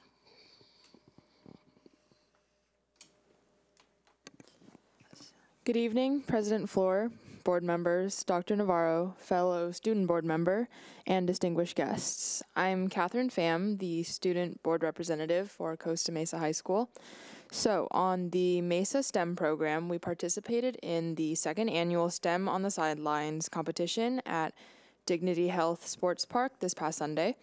Um, the team, composing of only sophomores, Sophia Catania, Elizabeth Gama, Lucero Islas, and Jasmine Servant, took home second place in the OC region out of 23 teams. They also received the first ever Ducommun Award. And Ducommun is an aerospace and defense company. They've invited our Costa Mesa team to tour the entire Chargers training facility in January. So the 10th grade Delta field trip to LA was today, and the sophomores toured UCLA and USC. On November 23rd, CMHS Band attended the California State Band Championship Division Finals, in which they placed 12th. Girls cross country made it to the CIF State Championships in Fresno, where they placed ninth. Um, it was the first time in 22 years that a cross country team from Mesa has made it to the state championships, and they've made Costa Mesa very proud with their efforts. Um, senior Diane Molina placed fifth overall, and she's earned All State for the second year in a row. She's also qualified for state championships for three consecutive years. Girls soccer has started off their season with a 4 0 record. And uh, Mesa Wonderland was held last Wednesday. It is a holiday event featuring all schools in the Mesa Zone, and it showcased art, choir, dance, and band. Visual Arts also set up an art boutique, and they sold their own works. Yesterday, there was the Sounds of the Season concert at the Performing Arts Center. So, beginning band, beginning strings, intermediate band, orchestra, and marching band played their seasonal selections in this concert. Choir is putting on a Songs of the Season concert this Thursday where they will play their seasonal selections. And on Friday, Jazz Band will be performing at John Wayne Airport to make your travels jollier. Santa's Village is this Friday, and it's much like Club Rush, where CMHS clubs try to recruit more members and they also sell food. Um, finally, uh, Mesa Middle School Cheer received first place on Saturday and got their bid for nationals. Thank you. Wow. Terrific. Busy. Thank you. And I'm sorry that uh, Corona Del Mar is not here so that we can congratulate them on their CIF uh, win. And they're going on to uh, state, which is very exciting. and Championship. Championship. and They're playing Saturday at Cerritos. Cerritos Four o'clock. Saturdays. At 4 PM. It's going to be a long drive and fun. So um, congratulations on that, and I'm sorry Estancia is not here, or Back Bay. Um, Moving on, Julie, PTA. Hello, my name is Julie Link, Harbor Council PTA President, and good evening, uh, President Fluor, board members, Dr. Navarro, and uh, cabinet and guests. Um, I, I didn't have much to report on, but I wanted to give you a Harbor Council membership total. Um, we have 6,468 members, and I wanted to share with you about um, the Parent Education Series on November 20th. Um, it featured Patricia Reba. You know, she's just a great, a great speaker. She has a lot of good stuff. She focused on eating and um, the psychology and food aversion. Um, I- I heard it was well attended. Um, I took a hiatus with my husband for a couple of weeks, so I missed. Um, anyways, uh, it was uh, well attended, and she gave some extremely important parenting tips. On January 22nd, uh, 2020, is our next Parent Ed series presented by um, uh, Newport Mesa Angela Castellanos. So that would be pretty in, uh, pretty uh, interesting to go to. Um, I also wanted to talk about uh, PTA Sacramento Safari is on 20, uh, February 24th and 25th. And registration for that, if you get the early bird, by um, December 17th, the prices go up. So it approximately costs $700 to go. And, um, you know, it's all the way up in Sacramento. So it's fun, fun event. It's very enlightening. Um, okay. I also wanted to share, um, you know, we had the Harbor Council PTA Holiday Luncheon was held on December 2nd, and it was such a pleasure having most of you there. Um, it started out the festive season. And as I mentioned that day, I'm kind of passionate about this. Um, mentioned that day, California State PTA, along with Harbor Council, is urging our legislators to take more action on the gun violence. And you know, it, it I mentioned this and, and um, at the luncheon, and then here on Tuesday, the Estancia thing happened, and I'm like, gosh. So I'm taking it as my little uh, clue that um, maybe this is something that I really need to get out there to our community. Um, it was simple to do. Um, I g- Googled votervoice.net, help end gun violence in our schools. And it, you, you click a take action button, and it directly sends a letter to Senator Dianne Feinstein and Kamala Harris urging them to uh, do the universal background check, along with a lot of other important gun violence prevention legislation, um, like requiring uh, firearms, the licensing procedure, a three-day minimum waiting period, uh, restricting internet gun sales, and including the kits that modify them, you know, the bump stops and all that stuff, um, prohibiting sale and possession of assault weapons for non-military and non-law enforcement use, and requiring those that already are out there to um, to do a registration process to, for people who are already own them legally. So they should register them. Um, banning the junk guns and Saturday night specials. Um, controlling illegal gun possession of firearms and other lethal weapons on school campuses. Yeah. um, and uh, supporting state and federal funding initiatives for the research and causes of gun, of gun violence. So, you know, it's, it was so easy. I clicked that thing. I was impressed with what they read. I sent it off, and within like three days, I got a letter back um, from Senator Dianne Feinstein um, saying that, you know, that she would do, you know, that's what we need to do.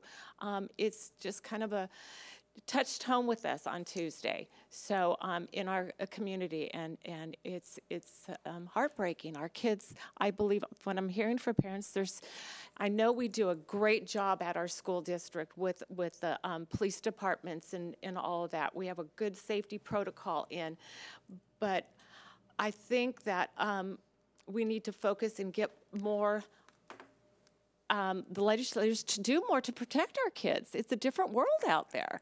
So um, that's it. Thank you. Thank you. Thank you. Okay, moving on to item, our most important item of the night. Jeff Trader, accepting the. So, good evening. Um, I'd like to introduce uh, uh, Kirtan Shah. He's going to make his way to the podium, and as he was walking up there, I'd like he's going to get set up here.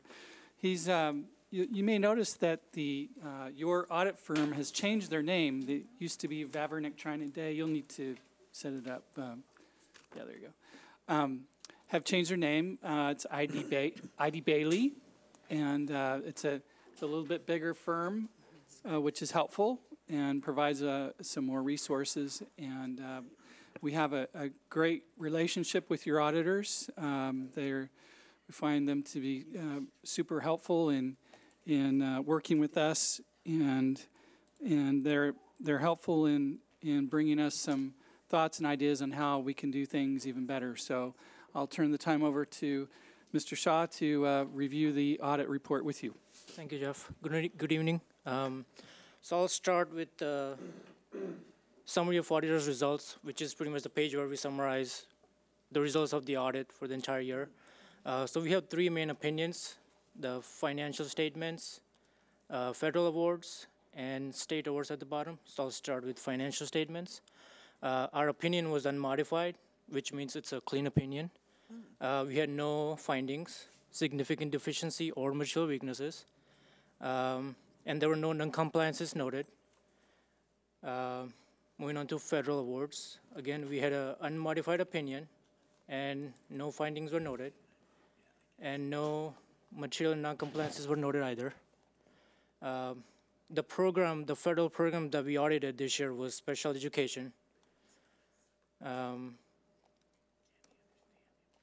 and lastly, the state award. Uh, the opinion was again unmodified except for these two programs, middle early college and unduplicated pupil count. Any questions on the district audit? I just have a quick, simple question initially, and that is, what's the difference between none reported and no? None reported sounds like There There may be might some, they just weren't reported. Yeah. Well, because audit is not really a certainty, it's a Ah. reasonable assurance. Ah. So s- for significant deficiency, according to the audit guide, we are supposed to say non-reported. We cannot say no. Oh, okay. Okay, Yeah, And it applies same with the financial statement as well. okay. Um, we were at CSBA last uh, Friday, so I know that a lot of us didn't get this report until probably Saturday because it was sent to our homes. What's the impact if we table this vote? Because I did find quite a few things that I'd like to ask questions on, but it would be, um, I'd like to review further, and that was just on my, you know, my three hours that I Oh, spent on it. absolutely. Uh, I will leave my num, my information with Jeff, mine or even the audit partner, and you can reach out to us directly if you need to. Okay. So. Wait. So, wait, so, so so, so what's the vote? impact if we table this vote? Can Oh, we? Till the Can next we- meeting. Yeah. We don't want to table, can, can we postpone, or do we have to vote? Has to be done by the end of the Yeah, you have to accept this by December 15th, I believe. Is that right? Uh, No? No, we just have to issue the report by fifteenth. Oh, you have to issue the report, Sometimes we but even they, do the re- uh, board meetings in January. okay, so we can, So we receive them by, Right. from you by December 15th, but then we have until the January to go over it. Because I, too- I mean, I ended up spending half a day, you know, because I know we have to go through the numbers. Yes, definitely. And I actually like it, so, you know, but, Oh, that's It's a lot of good news. So, uh, right here, your item is to accept the financial audit report. I don't think that closes it out, is that correct? Well, as in. we're receiving it. I don't mean- Yeah, think you're accepting receiving it. We're Well- receiving it, we can't. Yeah. We can ask Receiving it is different questions. than Oh, yeah, accepting, yeah, isn't it? absolutely. But I'm, I'm confused. I think receiving is different than accepting. Right. It Receiving is. means, accepting means we've read it and think it's great. And receiving it means you just gave it to us. So I believe we should receive it if you want to postpone it, I think, and if we can get it on the The next time. January uh, Do we meeting. need to make a motion then to Um, amend? It's on, it's on the, it's on 17A. the agenda to, um, on, dun- under action items, so if you want to change the words, and can we just make sure, can, can you get a hold of our attorney to make sure that we are in compliance and that we can accept and not vote on it?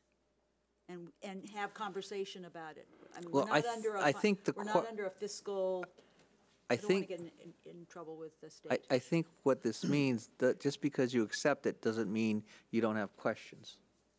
Well, the report says accept, but for discussion action, it says approve.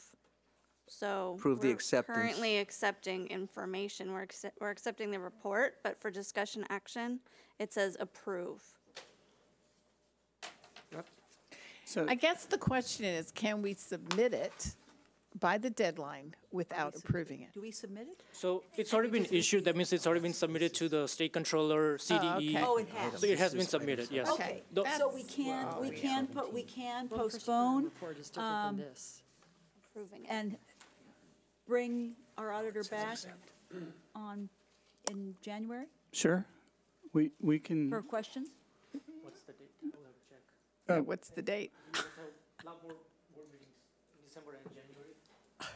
January. 15th? is it 14th, 14th? January 14th, I think is our next board meeting. Yes.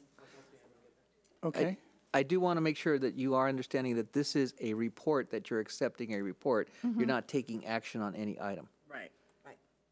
So you can accept the report, and you can still have them come back for questions. to Because have they're not going to clarified. change anything because Correct. this is their report, findings. Exactly. So regardless of whether we are concerned about something, then that would be with Mr. Trader saying, hey, how come they said this and what can we do with that? So I don't see.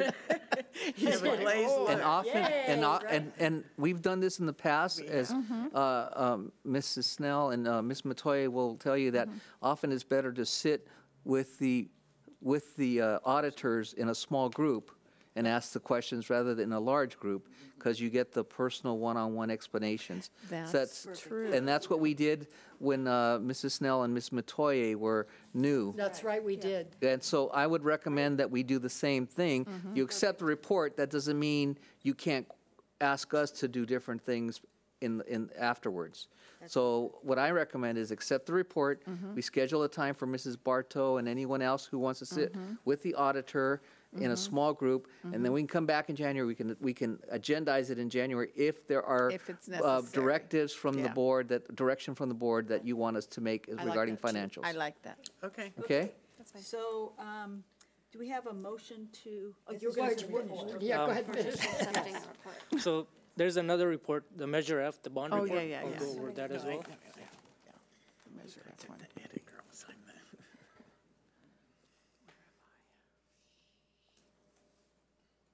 So in this report, we audit your uh, Fund 21, which is Measure F expenditures.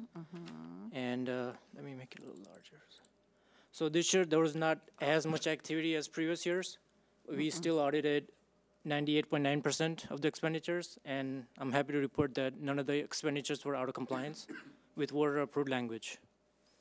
So our opinion was unmodified. So, so we did good on everything, Yes. except those two little findings that we always mess up. Okay. Any questions on this Measure F? So do we need a motion? I move that we accept the report, Yes, I- item seventeen is accept the re- financial audit report. and I, s- I move that we accept the financial report for the fiscal year 2018-19. I'll second. Second. Mrs. Yelsey? Okay, so Mrs. uh, Metoyer uh, made the motion, and Mrs. Yelsey seconded it. All those in favor? Aye. Opposed? Abstain? Motion carries. And we will wait till the meetings and to, to determine whether uh, the board members would like to have it on the next agenda, on the next um, me- Okay. meeting agenda, okay? Okay. So uh, is there, and who would like, just so I could know right now, is- who would like a meeting with the auditor? Okay, so Mrs. Black, Mrs. Barto, Ms. Anderson. And we will arrange that for you, okay? Okay, great. Thank you. Thank you. Thank you. Okay, moving on to informal reports. Dr. Navarro? Well, you kind of stole my thunder, Mrs. uh, Fluor. Uh, I would like to report that I have been to the last couple of playoff games for CDM. And uh, I want to tell you that uh, it's an incredible group of young men. I didn't get many games in this season. I was working on a home project, as you know. Uh, but I have been able to get to more playoff games than I ever have. And uh, I'm really impressed by the composure of these young men. Uh, last game was a very, very difficult game. It was what I would call a sloppy game, uh, uncharacteristic of Newport Harbor, I mean, of, of Corona Del Mar, to lose the ball on several fumbles, uh, especially right at the goal line. But it didn't matter. These boys did not lose, these, these young men did not lose their composure. And they fought and fought and fought until they put themselves in a position to win. And they won the game on defense.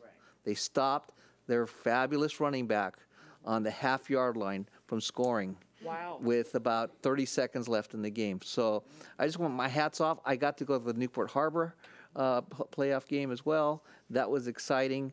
Uh, I did go to Mission Hills to watch CDM, and it's been a really great playoff season. So that's that's the fun part of my job when I get to go and see our students in action. Uh, but again, uh, kudos to the coaches, but more than that, kudos to the young men who uh, kept their composure and under difficult circumstances still came out on top. And for you, it's a long drive. For me, Cerritos is 15 minutes from my house. so it'll be a short drive for me. but I'm uh, looking forward to going on, on Saturday at 4 o'clock and uh, let's see how they do. They might walk away with a state championship. Okay? Well, good evening, President Fluor, Vice President Yelsey.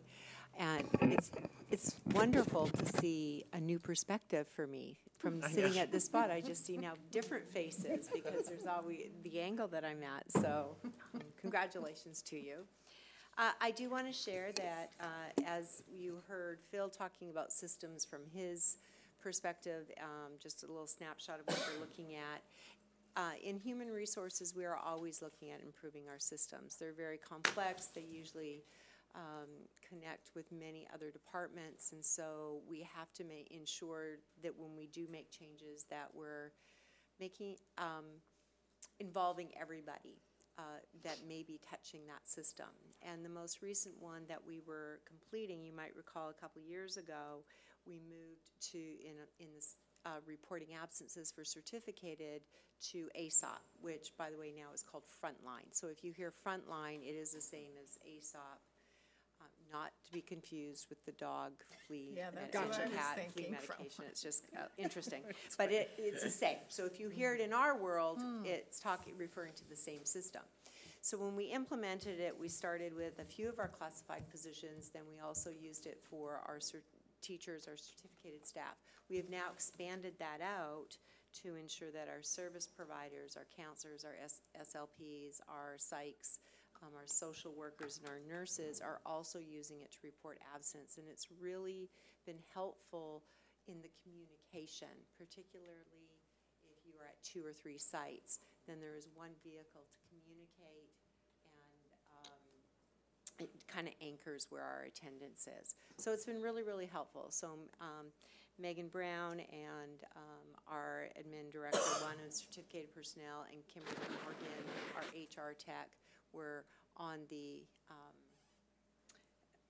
on the staff development, professional development circuit, so to speak, to go out and ensure that all of our folks are now trained on it and we're using that. So it's just another, it may sound like, oh, well, what's the big deal? It's a, it's a big shift for people, but um, extremely helpful on many fronts. And then I also want to thank you for giving me the opportunity to attend with you as part of the governance team to the CSBA conference. Uh, yes, I too am exhausted, which I'm here, we're gonna, I think that's gonna be the theme. Um, but to, to be with you and sit in sessions with you so that it just brings a different perspective. I can sit in something and hear it from an, from a practitioner perspective, but to hear it from a board member, external, um, side, it's really helpful. It reminds us of to always be mul- keeping um, multiple perspectives. I did attend many sessions with you, and so I'm not gonna steal your thunder. Um, but I did also, because of who I am and what I do, um, did attend sessions on negotiations and hear what's going on throughout the state, uh, which was really helpful and interesting to me. Uh, The highlight is really sitting with all of you, being part of the conversation and being a little outside of the area that I'm in each and every day. Especially given most people who know my background, it is the curriculum and the instruction, and that is why I do what I do. So it's really good to hear about that part every now and then. So thank you very much for that. You're welcome.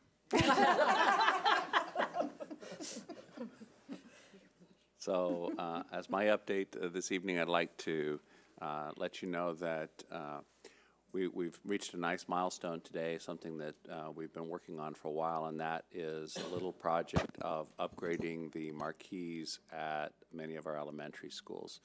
Uh, So, uh, Mr. Bidnick uh, informed me that in fact the contractor did uh, install the first of the eight marquees that um, uh, that we're installing to replace the old ones. These are now uh, uh, full-color uh, video marquees versus the old uh, type where you put up the plastic letters and those types of things. So it's been nice to see that project moving along and upgrading uh, this particular portion of our elementary schools for our communities and for them. Do we get to know which schools get them this year? You, you sure do. Give me one second. You knew we'd ask. Yes, I did, and so I had Mr. Bidnick, even though he's sitting right back there, text me the list Oh, of schools. is. Schools. So I will go right back to it. He's And gonna when get are you there doing faster than me, Adams? But, Wait, it might be next. No, I don't think so. I think it's next year. so, uh, Mr. Bidnick, why, there it is.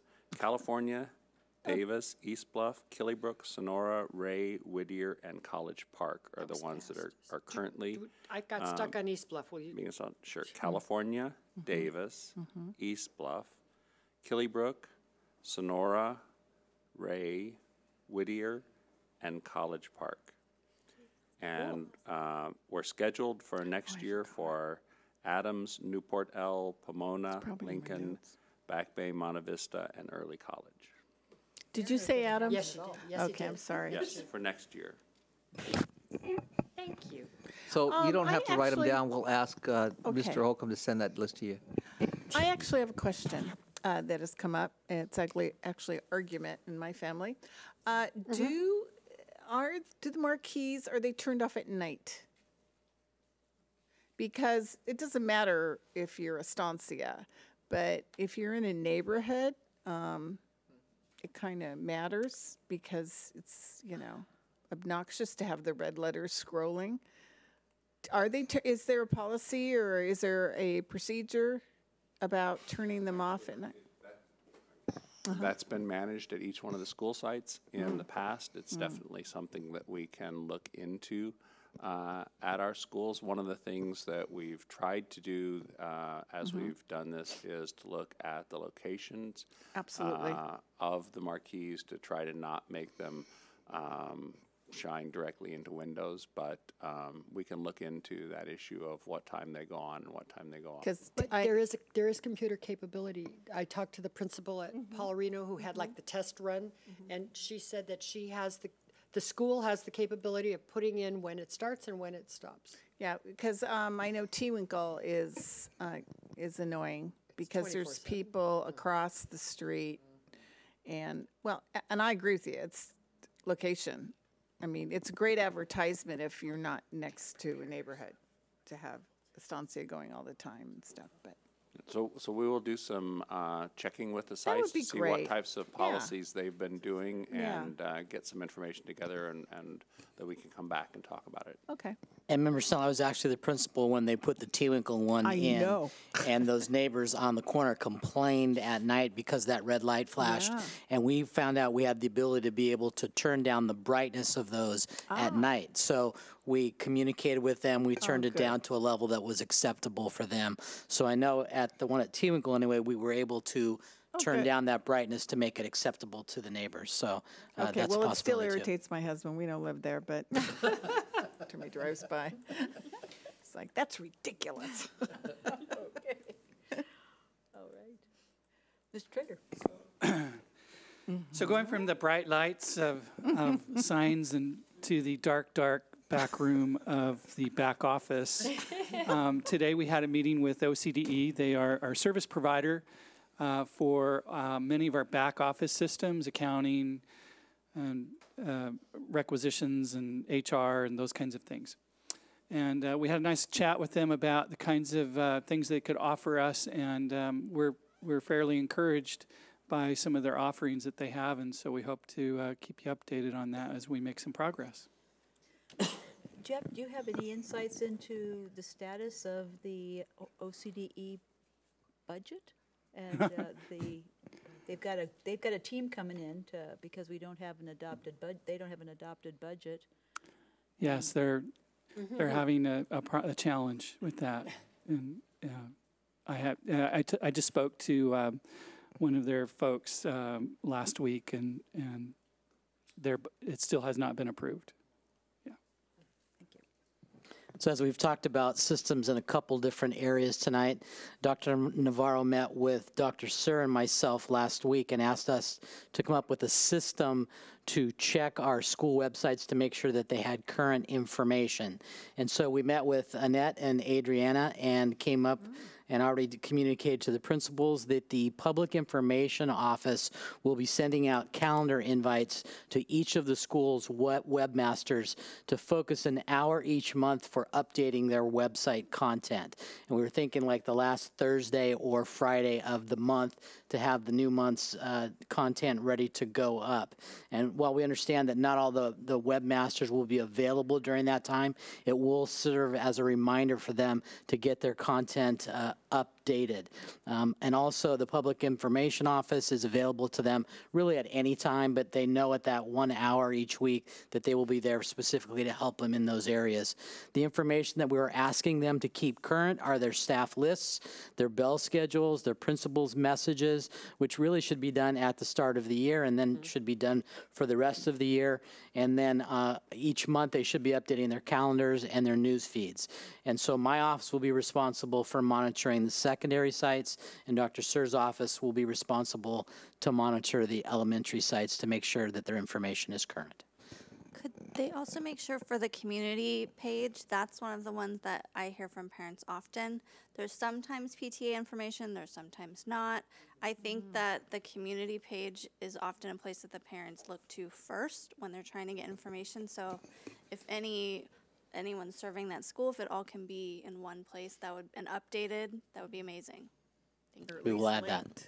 I, I was gonna say a similar thing. I, I, in the past with PTA, um, the officers don't tend to change. I mean, they do change, but the website doesn't change, and that results in a lot of confusion.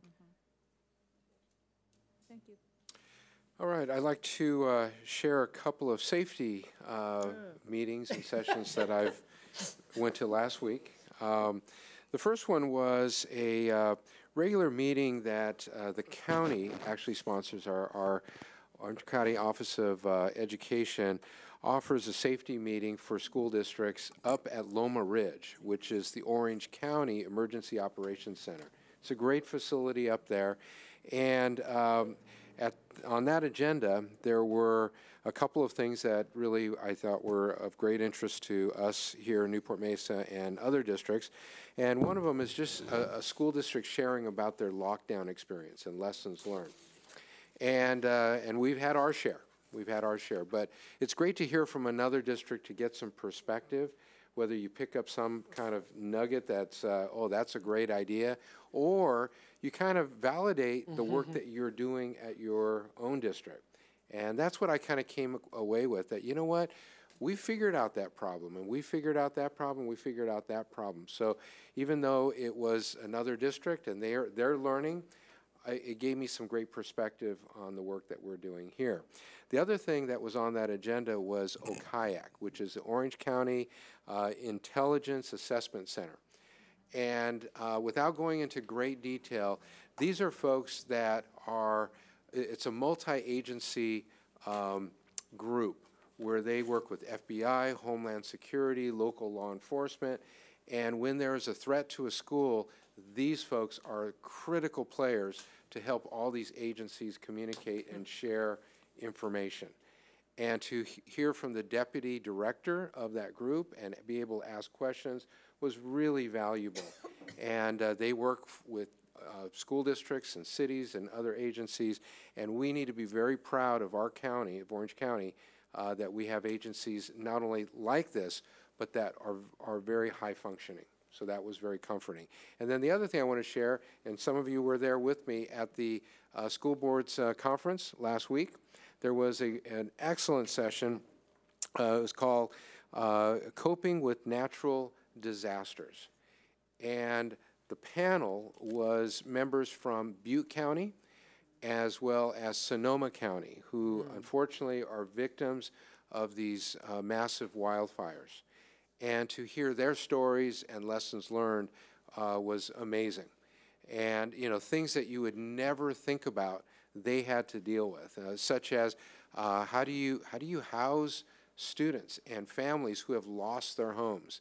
Uh, working with the government and, and having relief when the government is pointing fingers at each other. And so th- through their experiences, they, they believe and, and they have achieved uh, a, a lot of lessons learned. Things that didn't exist two years ago, now we're in a much better place. Uh, things like how do you handle all the donations that come, that flood into the district? That was a major undertaking. So I have two pages of notes that uh, they shared with us in that session. But Cash, you might as Oh, well to mention. that. Oh, yeah, the cash cash. is king, yeah. Yeah, no, they're- That's what they need, Yeah, yeah. they were saying gift cards. Gift In cards. that Oh, sense, it was sure. gift cards. So anyways, but it's to give to families and, and uh, community members. So anyways, it, it was uh, very insightful, and the phrase they're using, I'll leave this with you, which I thought was, was really great. Even though it was very difficult for them to be up there and talking about these experiences, they really strongly believe that victims need to help other potential victims. And, and just the sharing between Sonoma, to Butte County, and then for them to be sharing with all of us so that we can be better prepared in the event that something happens.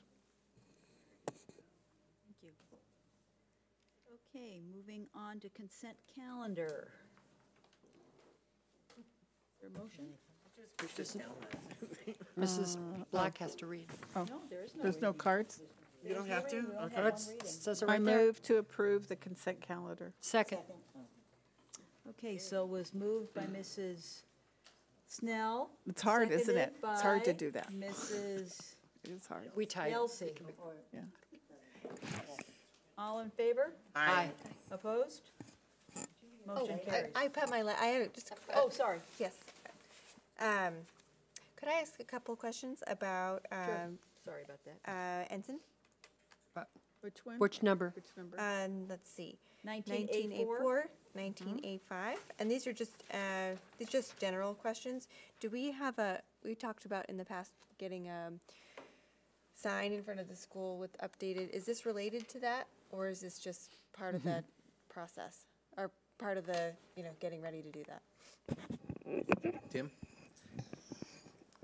Yes, so um, these, this is for the project. uh, When the construction contract is awarded for both the uh, material inspection and for the DSA inspection, um, we do not have plans right now to put a sign in front of the school. I had not received uh, either the the consensus of the board or direction from the superintendent to put a sign up in front of the school, so we don't have that on our agenda at the moment. I, Well, let's uh, put that on our agenda. yeah, Okay? you Okay? know, coming soon to a school near you. That was, New and improved. yeah. Yes. And, um, and then, um, just if you maybe have Wild West Inspection amend their contract, there's a pretty significant typo, um, regarding the dates. We will fix that.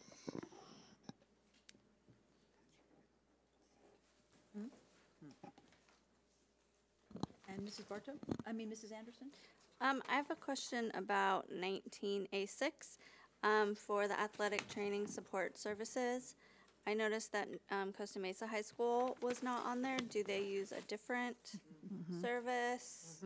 Well, just so, just so you know, uh, this is a transition year, and uh, we've already given direction uh, that all schools will be needing to be under our uh, agreement with, uh, with uh, NOFI, uh, NOIA, NOI, um, because uh, under this pro- program, uh, not only do, does Hoag provide uh, the trainers, the athletic trainers, they also provide a video uh, diagnosis, diagnosis on the spot by the physicians in the, in the practice. So uh, we aren't relying on a diagnosis by someone trained to tape and treat injuries. We're relying on a physician giving professional uh, recommendations and diagnoses on an injury. And it's been proven to be very, very helpful.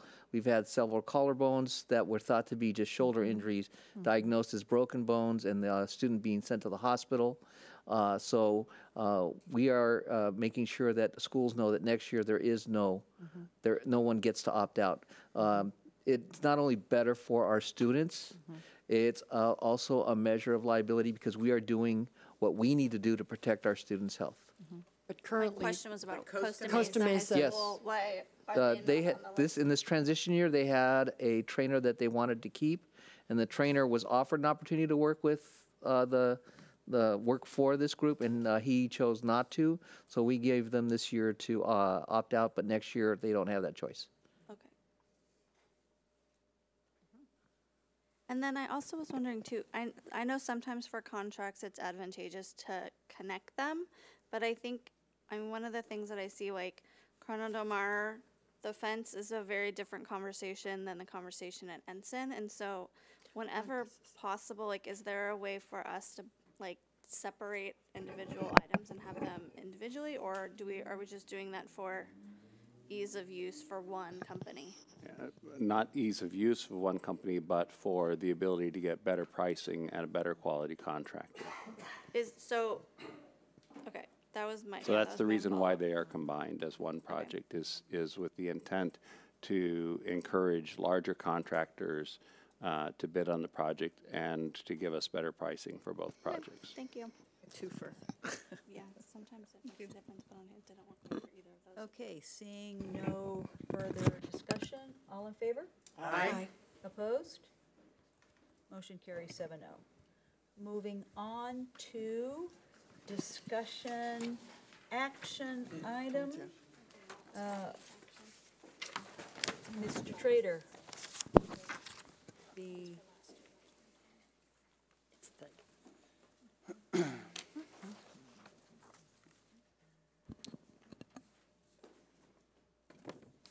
Well, I have to tell you, I'm a little giddy uh, because um, I can't wait to really um, brag to my counterparts to tell them what my board did to throw off a, an audit report because they want to delve into it and do a deep dive. I'm, I'm really, that's, that's absolutely wonderful. I'm just gobsmacked. I'm, it's absolutely terrific. So uh, that's amazing. Hopefully tonight we'll get a meet standard from Mrs. Snell for the, for our interim report. So let's talk about interim reports and what they are. And so they're required by law and they include budget revisions between the adopted budget and the first interim, which happens to be between July and October 31st. And it accounts for that activity and it includes multi-year forecasts, um, which we update for the next two years. And it certifies your uh, ability to meet our uh, financial obligations for the next two years. So um, from that report, uh, we have a cycle that we, we roll through. And so you're familiar with, we have the state adoption in July. We do our unaudited actuals report in September. We're here now in December for our first interim. The governor will uh, produce his budget proposal in January. We'll come to you with a second interim in March and then uh, a budget adoption in June. And so that's the fund calendar. So now let's talk a little bit about the uh, proposed budget revisions. So um, what this means is we're we're updating our assumptions in light of changes uh, and new information that we have received. And so with that, then let's talk a little bit about revenue. So unrestricted revenue increased by uh, $9.4 million. And that is primarily because of uh, higher tax revenue, and that's a good thing. Um, ta- property tax increased 5.9 million, and we had a reduction of in lieu property tax of 1.4 million, and that's a result of the um, ISSAC Charter School. And we had to go with the, the numbers that they, the inflated numbers that they provided us at the beginning. Um, and as, as you know, they went from like 250 down to 71. So um, that is, is good for the district's budget in that regard. And then um, uh, special education preschool intervention grant, that's worth 1.9 million, and that came in at the very tail end uh, of the year, and so we didn't have um, enough time to put that into the budget. So uh, when we adopted in June, and then uh, you look at uh, increased uh, restricted revenue, and that's mostly because of, community support. Um, we had uh, community support of three and a half million. Very generous community in, in supporting the district's programs, uh, field trips, all those kinds of things. And then about uh, 700,000 in federal programs, and uh, we also included the Career Pathways grant of another 700,000. So uh, overall, when you look at that, um, looks like it's nice up and to the right, which yeah. is what we like to see at this time of year. And so then let's talk about our expense. expense is um, also increasing. So unrestricted expense increased by about 2.3 million. That's higher with staffing about uh, 1.3 million and non-staffing again by 1.3 million. And the staffing is impacted mostly by certificated salaries. They increased by 1.4 million. Classified salaries decreased by 0.9 million and benefits increased by 0.8. That's a total of about 1.26% of our budget, which is what we normally experience at this time of year because we do uh, between June and and um, uh, the, now we do a lot of cleanup, and so um, you'll. This is kind of a normal pattern for us in this regard. And then for the restricted expense, that went up uh, 10 million, 10.1 million, and again that is um, that's reflective of all of the beginning fund balances loading um, that we now know at this time, and so staffing increased 3.4 million and non-staffing by 6.8 million. And again, um, well, this is up and to the right, but it's it's matching uh, revenue, so that's helpful. Oh, you want this one to go down. Down. In a perfect world. In a perfect world, yes. And then uh, uh, for other financing uses, our transfers out to nutrition services uh, increased by 0.9 million, And then we increased our uh, support for workers, for the Workers' Compensation Fund by 1 million. And then we also in- increased our support for restricted programs, which um, include special ed, major maintenance, and LCFF supplementary. And um, so you see there, and this is a pretty normal pattern for us to follow at this time of year. Ending fund balance, uh, the unrestricted ending fund balance increased by 1.8 million, and that's good because we need to do that. As you'll remember, uh, uh, last year and the year before, we reduced our ending fund balance um, to make sure that we could fulfill your commitment to um, air condition the school sites. And, and so it's time now for us to, to replace that ending fund balance that we used. And then uh, restricted ending fund balance increased by uh, 1.8 million. Now let's take a look here. Um, we are a community funded district, and so what's driving this is uh, property tax. So if you look here, there's our total line, and here's our LCFF line, and then federal pretty flat, state coming down, and local is is uh, consistent. Um, those out years were probably a little bit more conservative, but you would uh, we would expect to see that line um, in the out years come up a little bit on the local. And so federal and local revenues are flat, state revenue is declining, and let's take a look then at the multi-year. and that, one thing to remember, there's only one thing certain about a budget, and it will be wrong. but we do need to be in the ballpark. So um, let's take a look and see what we have here for the multi-year. So I remember we, we showed this last time. Um, and and we don't want to. I don't want to be the boy that's crying. The sky's falling, sky's falling. But, but things are really good right now. We have to admit. um, in terms of revenue, those kinds of things are good. Um, but uh, what we need to remember is that periods of high economic growth often sow the seeds of their own demise.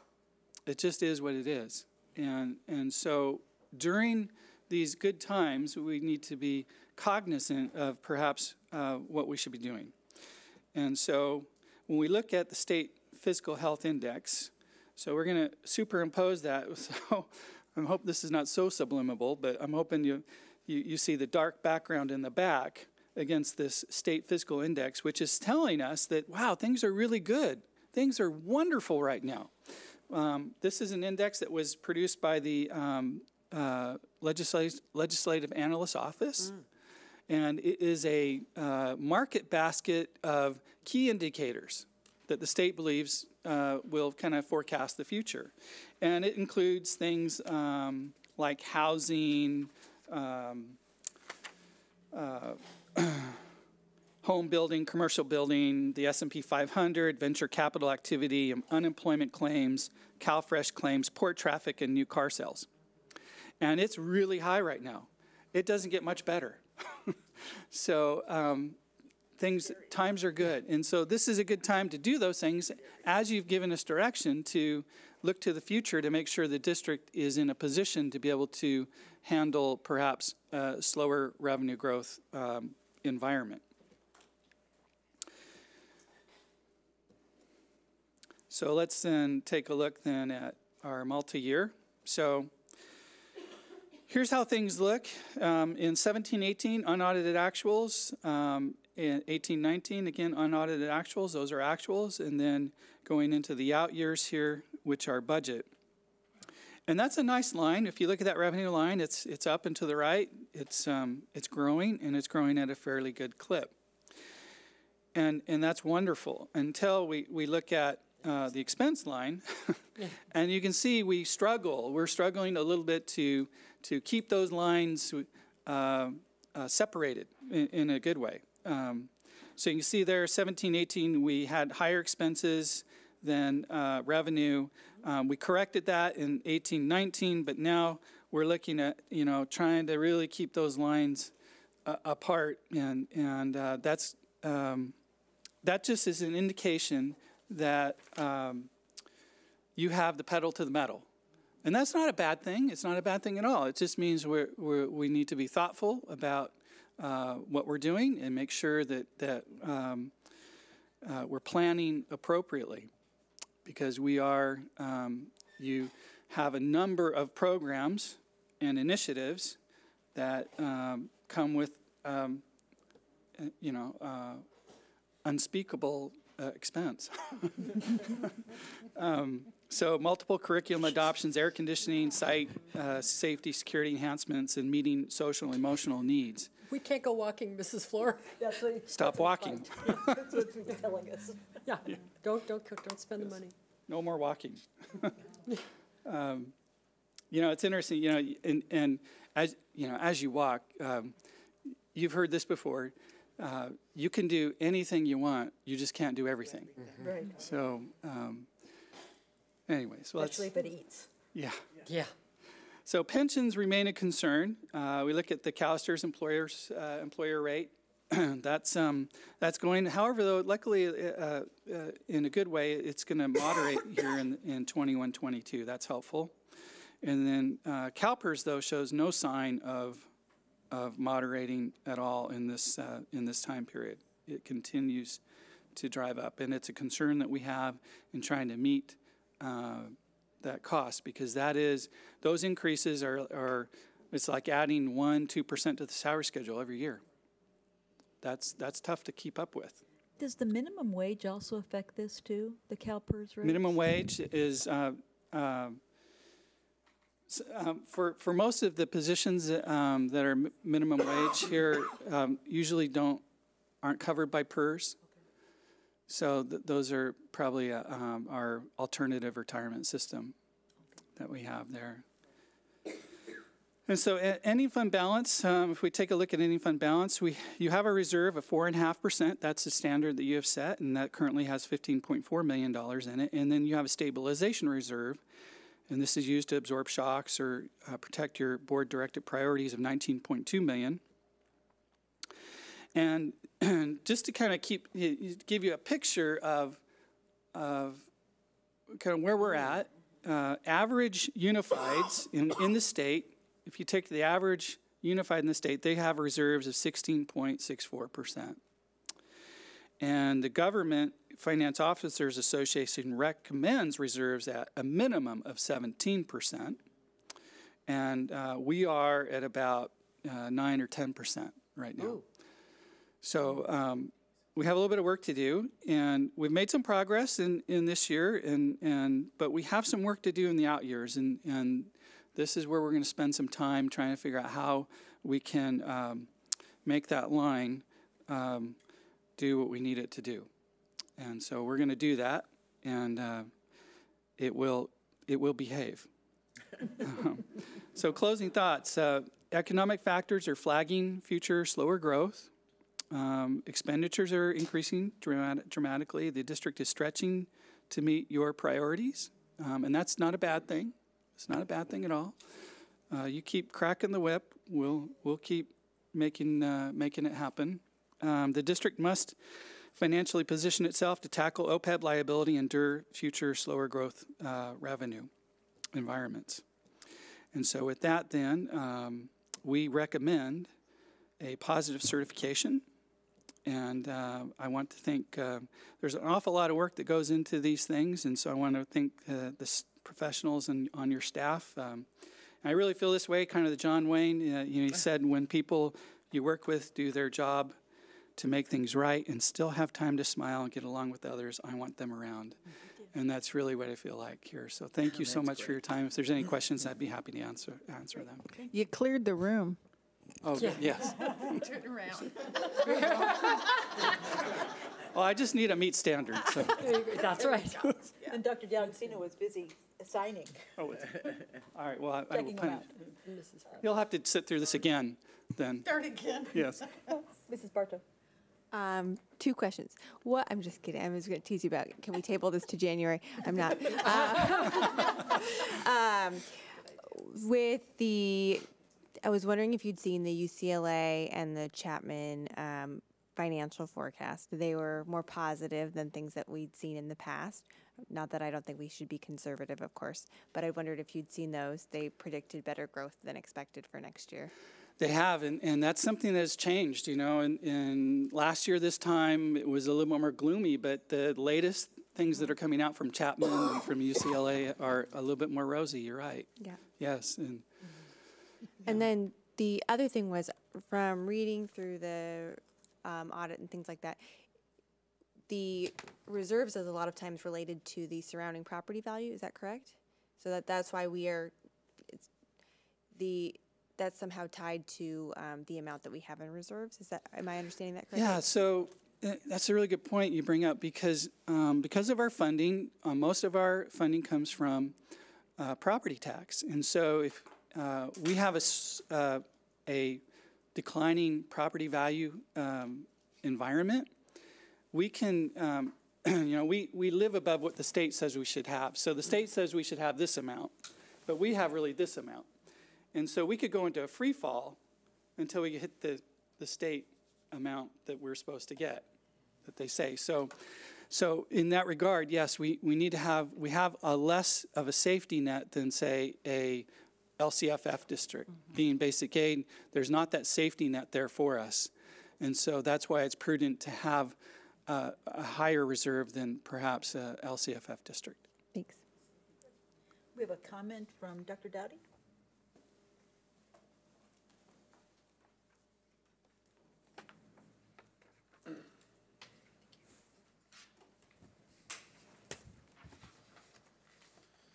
Good evening again. Uh, So first comment is that I would hope that um, the PowerPoint in this presentation, as well as one that we, that was earlier before closed session, that all the PowerPoints can get posted with the minutes online at some point down the road. That's very helpful.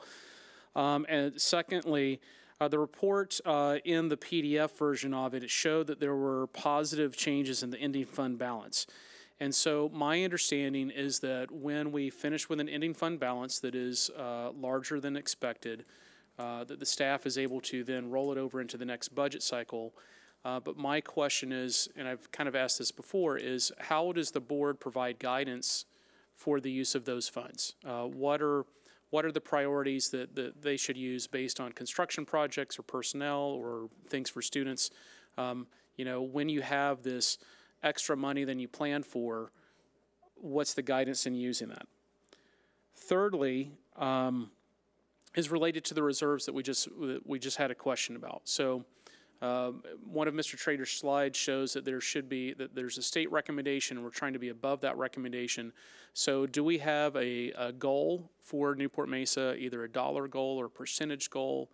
Um, one of the economic forecasts shows that you're having to dip into that uh, to finish out some construction projects. So what's the plan to kind of reestablish and get there over time? What's the speed to get there? Some of those big picture goals that the board might have.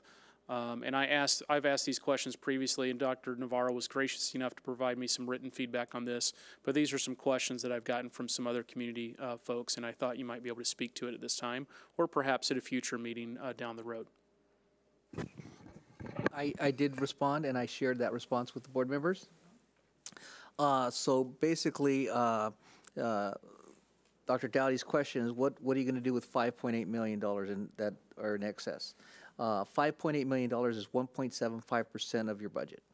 Okay, and what I explained to him is that there are expenses that come in below expectations and expenses that come in above expectations. And so what we do, and you will approve these transfers at some point throughout the year, or maybe at the end when we do unaudited actuals, but is to fund those expenses that came in higher with that money. So we're on a spend every dollar uh, budget. Uh, that theoretically is what most districts should do because the money you get for this year is for this year's kids. And it, there are times when we do spend money on projects uh, and reserves. So, for example, uh, the business finance department, the guru over here, was able to fund all those AC projects by sweeping money on occasion when it was possible. A lot of it came in on one-time money. Some of it came in from uh, leftover. um uh, what was it? The uh, redevelopment fund that came in at the end. We got some of that, but some of it did get did get did get swept into your priorities. So you have provided us with direction. Uh, we do share with you those transfers and so on, but at 1.75 percent, uh, that's not a whole lot of money. Uh, if you had $300, that'd be $1.75 that you could do more with. Uh, so um, that's what I explained to, to, to Dr. Dowdy. Um, And if you do have uh, reserves come in, uh, you have to remember that those are really becoming now one-time funds. And that you can plan for the next year to use those in a different way, but what you have left over is only one time, and you should use it on a one-time expense. It, an example of that is this year's um, work on the Estancia Field, which was unplanned and surprised, but we were able to do what we had to do because the economy is better. And we, we would have to do it anyway and then have some issues, but we were able to do that. That, so that's an example. See, It doesn't really become extra money for like four or five years down the road. And by then, we've spent it on our walks. Ms. Anderson? Um, I had a question. Has Newport Mesa in the past, um, ever had an, a budget oversight committee? Yes. When did that end? 2000, 2001. Because I think a lot of these, particularly since we're a basic aid district, I think maybe going back to that, I think there's a lot of questions in the community about how our budget is operated. So I think that I know, I can't imagine public trying to fit in here, but it's. That's not my comment. My comment, no, my I comment is that that understand. information Teasing should be available to the public, and I think to have, like we have for Measure F, I think it's a really valuable thing to have. What, how did the previous budget committee start? How did it end? Can I have a little I s- history, please? Um, sure. It actually started, uh, After the about embezzlement. 1991, 92. Uh, It started because there were some, a couple of irregularities, and of course, then we went into the um, embezzlement. Uh, So the board established a budget advisory committee as well as an audit committee, we, and an investment committee. We had three committees uh, comprised of community members. Um, All three uh, were comprised of members representing each zone. Um, They applied, there were strict guidelines, correct? And each board member was able to appoint a member. Um, As we went over time, they, sometimes they took into consideration and looked into maintenance and operations was one area that there was um, quite a bit of discussion. Um, Ultimately, uh, the demise came because we couldn't recruit enough community members to even meet a quorum. But we also had Um, completed Measure A though, and that was kind of the Oh, yes, impetus for. That was a separate bond committee. measure, and those were required, but it, it ultimately was because, I think, Jeff, you, that was when you started coming, was actually because uh, we couldn't, we couldn't get a quorum. And those individuals, the Investment Advisory Committee was actually um, looking at the investments on, and then we had the Audit Committee, um, and they, they were relatively small committees, um, but we couldn't field um, candidates, nor could we maintain them. It's the same thing that we're going through right now with our um, Citizens Oversight Committees for the bond, um, because we had s- very strict guidelines that were passed, so we can't, we can't change those of who, what group should be on that committee, and so now we're sort of, aren't we, dou- we're double dipping, we've got a, s- uh, you know, a, uh, a senior citizen who happens to be in a taxpayer group, so that took care of two. Actually, fortunately, we, we were able to get, Get uh, somebody else, one to meet each one, but it's very, very strict in the law, and it's not easy. And um, just because uh, life is the way it is, um, we don't always get much more than a quorum. So we're, we're always encouraging and reminding the oversight committee members that we need a quorum uh, at every single meeting in order to be able to conduct their business. So They were up and I think- running. I have to say, they were, I got to serve on it before I was a board member, and um, I actually came to the board when I wasn't on the board and recommended that we put one together. But it was, um, it just is so informative, and, but I think what happened is, once we started breaking out in Measure A into the individual school, and then the umbrella of Measure A committees and whatnot, people kind of went, okay, so we, you know, and we, we weren't deficit spending anymore. We had six years of deficit spending before, you know, and that we wanted to have the community, well, we were calling to be on it, to understand it, so. So I think it, it is really beneficial, but again, you know, people want to come out and, and they would probably come out and listen to Jeff, you know, because he has a great way of giving it away. And, and also you get to understand it, you know, so it might be something to investigate, but to just go out, you know, it, it, it would be a lot of work for inconsistent, so. Historically, attendance. yeah, historically in the state, these types of committees come about when there's a crisis. That's it. That was- And uh, that is part of the way you get over the crisis is you create, uh, you create um, more, uh, more people to look at what you're doing. Uh, You know, they're advisory, so they can't really tell you what to do, but they do sit there and listen, and you do listen to them. But historically, these come about because of some kind of crisis. Um, And, uh, you know, it could be a district that is going to be taken over by the state, for example, or it could be a district that suffers some kind of criminal embezzlement. Uh, Those are the main crises. Right now, you have a triple-rated uh, district, uh, and so you're well-managed, you're highly respected in the state. Um, So, you know, I don't know if this is the right time, and it's a very difficult thing to do to recruit people for long-term. Uh, So uh, Measure A did finally, uh, you know, kind of fall apart after it was done, and we, and Tim's done a good job of maintaining the Measure F oversight, because you- legally that's required. But otherwise, you know, it's, it's, it's not something that uh, you find yourself in. Uh, You have extended the district, we have. Uh, That, those AC projects cost a lot of money. Those, those uh, investments in instructional materials were huge investments And they're not done yet. and we're not done yet, and we have several more to go. So we have a we have a hill to climb, uh, but you are well managed. You're you'll have an opportunity to sit with the auditors if you want and uh, find out just how well managed you are. I think also part of it is, is that um, in the past, um, and I, and Jeff really led the way, is our budgets were not user-friendly either. They were, they were cumbersome, they were, they were just regurgitating exactly what the state, which um, is like a three-page document, and you can't read it at all, and you, you know, it's just a bunch of numbers, and it doesn't say anything. And I think with, with Jeff at the helm, uh, one, it's much more uh, self-explanatory.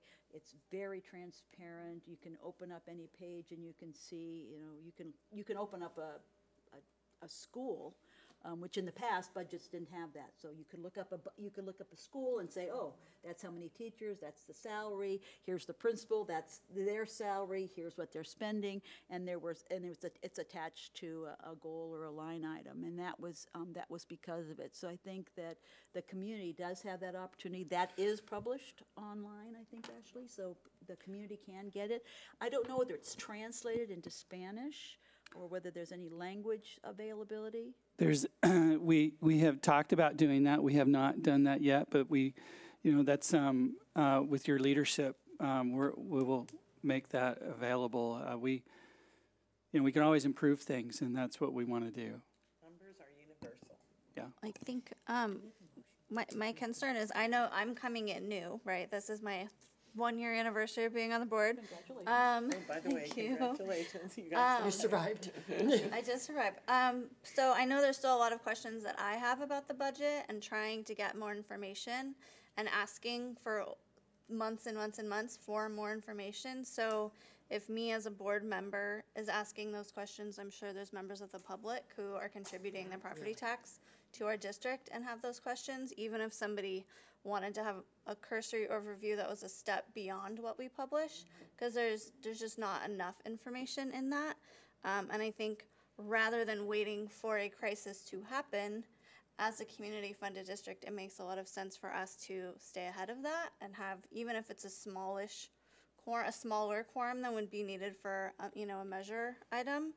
Um, for me, that's something that is, like, I believe my fiduciary role is to ask those questions. So I don't know what that looks like, but I would love, like, if we can continue to have conversations about that going forward, because there's a lot of questions that I still have about our budget, and I, I'm thankful that we have this, but there's more, there are some numbers that I want more information on.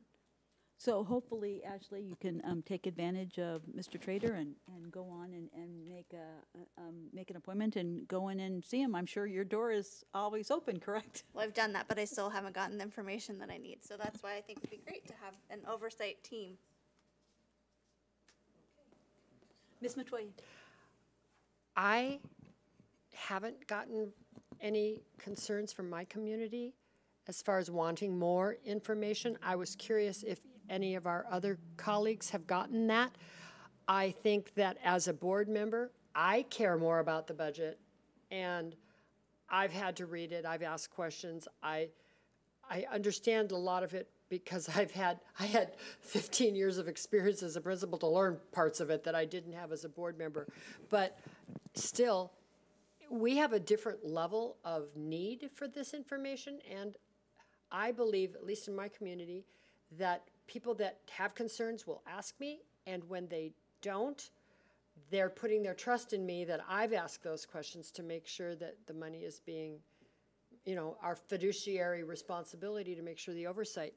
Creating a committee that the community itself isn't asking for just doesn't seem like it's something appropriate to do right now. That doesn't mean we can't revisit it later, but that's my opinion. Thank you. Mrs. Yelsey?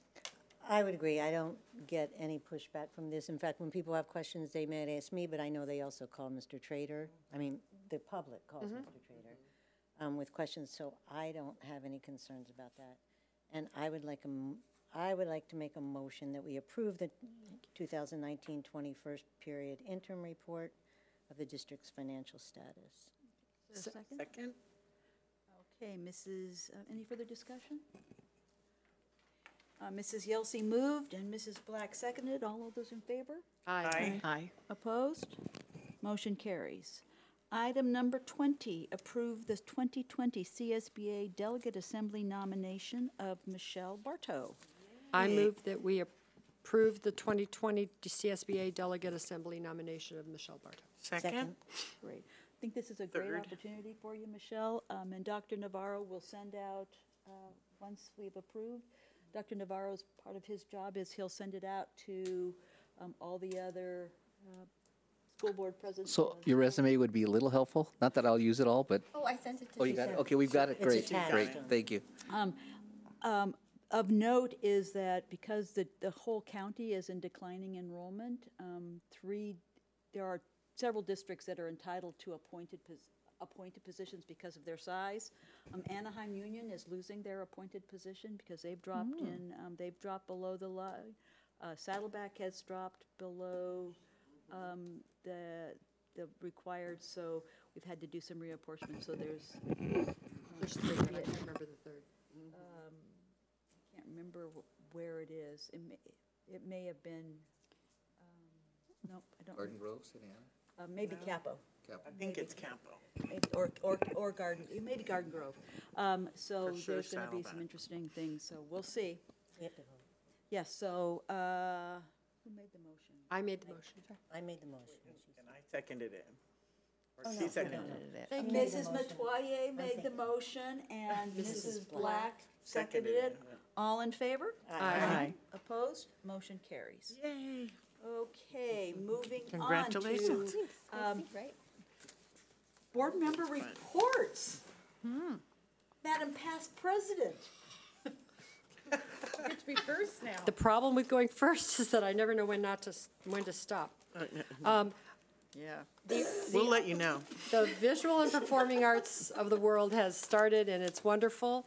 Uh, Mrs. Fluor and I attended Newport, since our last board meeting, Mrs. Fluor and I attended the Putnam County Spelling Bee at Newport Harbor High School.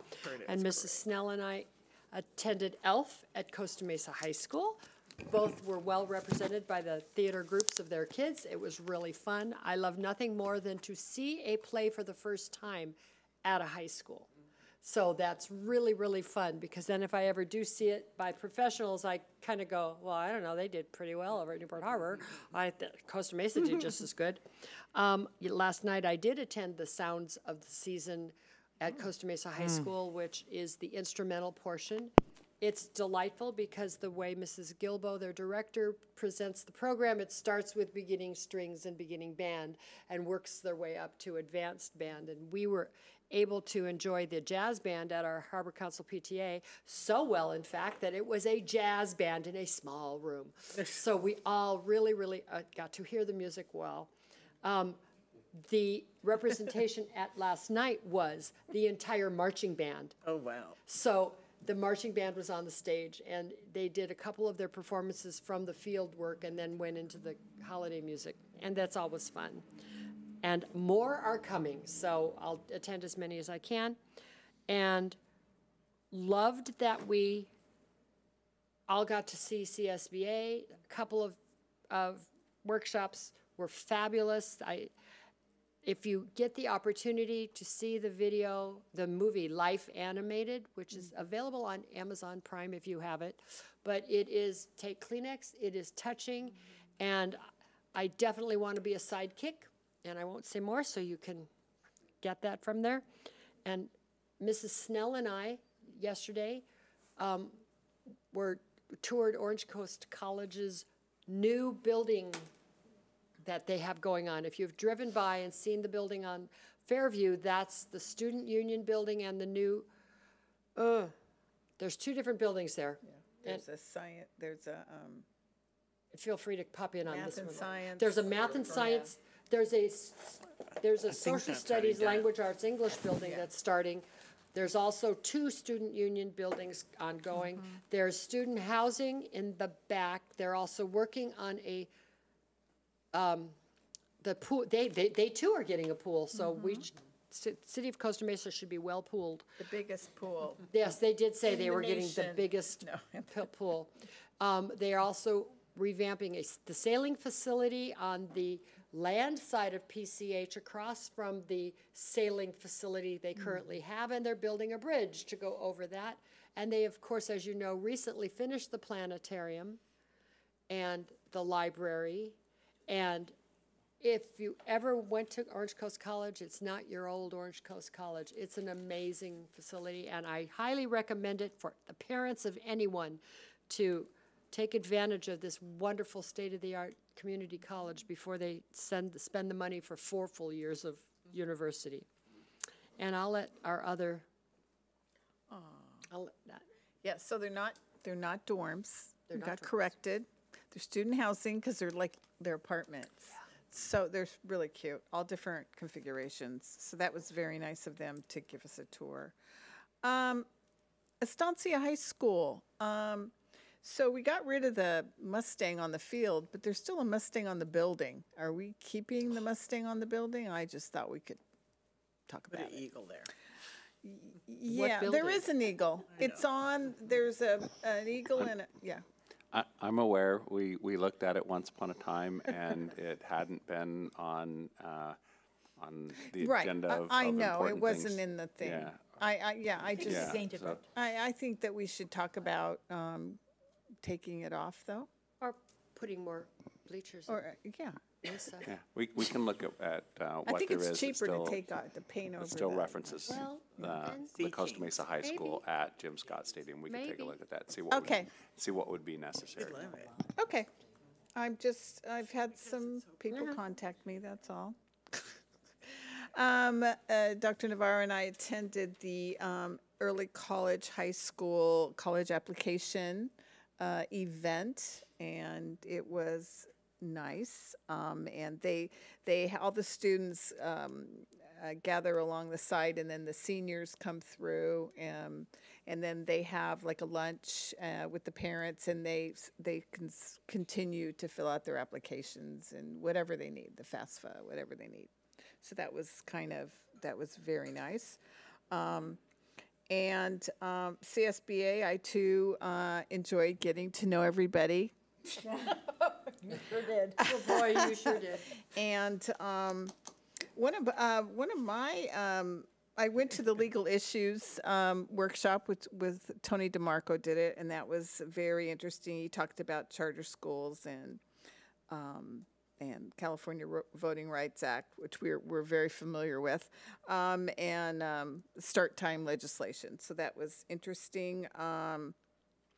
And I went to the multiple pathways to biliteracy.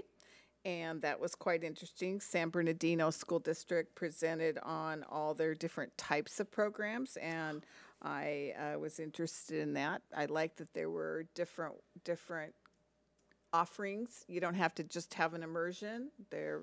And I learned we have a one-way immersion. I didn't know that. I thought we had a bi-immersion or something, but we don't. Um, and then um, uh, let me see, what was the other thing? Oh, and I don't know, somebody's going to talk about this, uh, that making grades more equitable. That was really a great presentation. And um, I know that the um, speaker is going to come and speak to our teachers. So it was, I can't just tell you in two sentences. It was, I think uh, we were all really impressed by that. Um, and uh, the Costa Mesa, um, what, what is the, the Costa Mesa Community Meeting? The meeting that has um, the the water district. It's not really the joint. Joint district meeting. Anyway, we were talking to Mary Hornbuckle and the other trustee, which I have, his name is slipped. Doug Bennett? Is it- Yeah. He's not a trustee. Oh. Doug is the, like, um, oh gosh, he, he's a fundraiser, he's a, he's, he Oh, I works. thought he was a No, he- he's not a trustee, he Oh. works for the, he works for Orange Coast College. And then the president, the new president of For Orange Coast College. Yes, and um, they were talking about how they'd love to be involved in that meeting, and I, it's, it would be, because they work with the water department, sanitation department. So I don't know if it's appropriate for us to reach out to the city and suggest. Reach out to the city. Okay, that, that would be great. Um, and I want to tell you, I appreciated the conversation format um, that we had earlier. I thought it, it was good because it, it wasn't at the level of a real report, so it was shorter and it didn't have as much specific information, but yet it was a heads up, and so Yes. I thought that was, was good. I, I, I enjoyed that, so. May I say something? It was considerate that you Yeah. to all the principals, so, oh, hey, we're bringing you on board too, so this is Yeah. I mean, That when you have an official report, it's, you expect it to be more complete. So I, I liked the heads up of it. So, anyway, that- Agreed. that's it, thank you. Um, oh, Gina. What happened? Oh, A little fuzzy you came fell out. out. Um, Well, I was able to come back on Saturday and attend the um, Wilson holiday party, which was awesome. It was great to see. It was packed in there. Um, and then tomorrow morning is the Whittier holiday concert in the morning. Um, and then I loved going to the workshops that I was able to attend. Um, the um, biliteracy pathway, um, talking about you know the need across our nation for more students not just to be bilingual but trilingual and multilingual. Um, and then I went to implementing equity, um, and some districts really have some great resources that we can use to um, to implement more equity within our district at all levels, not just grading. Grading is a good start. Um, and then um, also I attended one about collective impact um, with district and businesses and community partnerships working together hand in hand to, um, they specifically targeted the, um, the high school um, graduation rates. That was the biggest need in their district, and so it was cool to see everyone coming together. I've studied Stanford's collective impact models a lot, and so it was, it was I loved having a workshop on that at a deeper level. Um, and then I also attended Calm Before Crisis, which um, was from a school board member in a different district, and it talked about what to do um, in in the instance if there you have undocumented students or families in mixed status, and if um, someone is deported or gets deportation notices, what the district can do, um, because it creates a lot of um, stress on students that are around to the other students. So, um, yeah, I learned a lot. It was great. Thank you. Um, I, my favorite thing at the CSBA conference uh, was probably the uh, session I attended on student board members and ways to make uh, their involvement more meaningful and further involve them in the civic process. Um, there's some really great things that hopefully we can bring back to our district in that area. And then also the grading for equity equity was really well thought out. Um, and then additionally, working with um, the teachers in regards to with you know the new um, various things that are you know there's always new things coming at teachers and helping them um, feel supported and um, with help with their professional development as well. Uh, the way the school district in um, San Juan Unified School District up in Sacramento, uh, it's a very collaborative process and it, it's it seems really well thought out. So something I want to dig more into. Um, I'm looking forward to attending some holiday concerts this week. I'll be at Ensign Strings and then the Newport Harbors, a holiday show as well, uh, along with Heights. And then, um, should I do my legislation or do you want to do that later? Okay. Um, so a lot of the legislation things that came up, one of them was in the legislative symposium that I attended at CSBA. Um, it was really great to see how well we do on a lot of the things, particularly in regards to uh, the district's uh, attitude towards um, religion and the way that under the law of um, you know of the United States that is to be neutral towards religion, but to teach religion. And one thing that I hadn't thought about was how, uh, according to state law, we are required to teach religion both without any bias towards a particular one. So I thought we did a good job in that area as compa- um, a lot of the other school districts have, have really um, a lot of um, understanding that um, they could come to, and we were really in compliance with the the spirit of what the California law was. So that was encouraging to hear. Um, then, regarding some legislation that's coming through from Sacramento in January, is uh, AB 272 student smartphone use. Um, this I know is a challenge for many teachers in, in the classroom, and um, the law, this bill, effective January 1st, will uh, limit the student smartphone use. I know that's kind of from what I hear anecdotally from my children, that can be a, a, bit of a challenge for for teachers. So this will limit the uses to IEPs, um, threats, um, you know, used in the classroom for specific things, but just uh, giving the ability for students to have it when appropriate and not use it as a distraction for other students.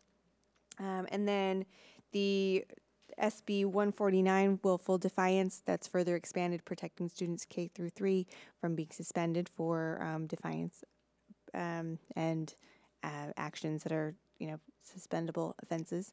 That will further pr- expand protections for them and then the last one is sb 316 which is student on student identification cards uh, adding a domestic violence hotline and that will go into effect in October of next year, um, when that will be required to be on cards. But one thing I found interesting is the law requires that you deplete your supply of ID cards first. So Right. you Oh, can't nice. you can't go and print new ones. You have to supply what you or exhaust your supply, yeah. and then you can print the new ones. I thought that was like an interesting Like you can't throw them away. Don't waste taxpayer money. That's all. Thank you. Talk about micromanaging. I know, right? We don't do that. Um, I too enjoyed the um, conference, and but I, as a delegate, um, I went. We spent a couple of years working on full and fair funding, and I mean a lot of districts, eh, you know, put a- two years, a lot of time and energy into that process, and so CSBA, because of the other um, ballot measure that's going to be on the ballot, decided to withdraw our full and fair funding.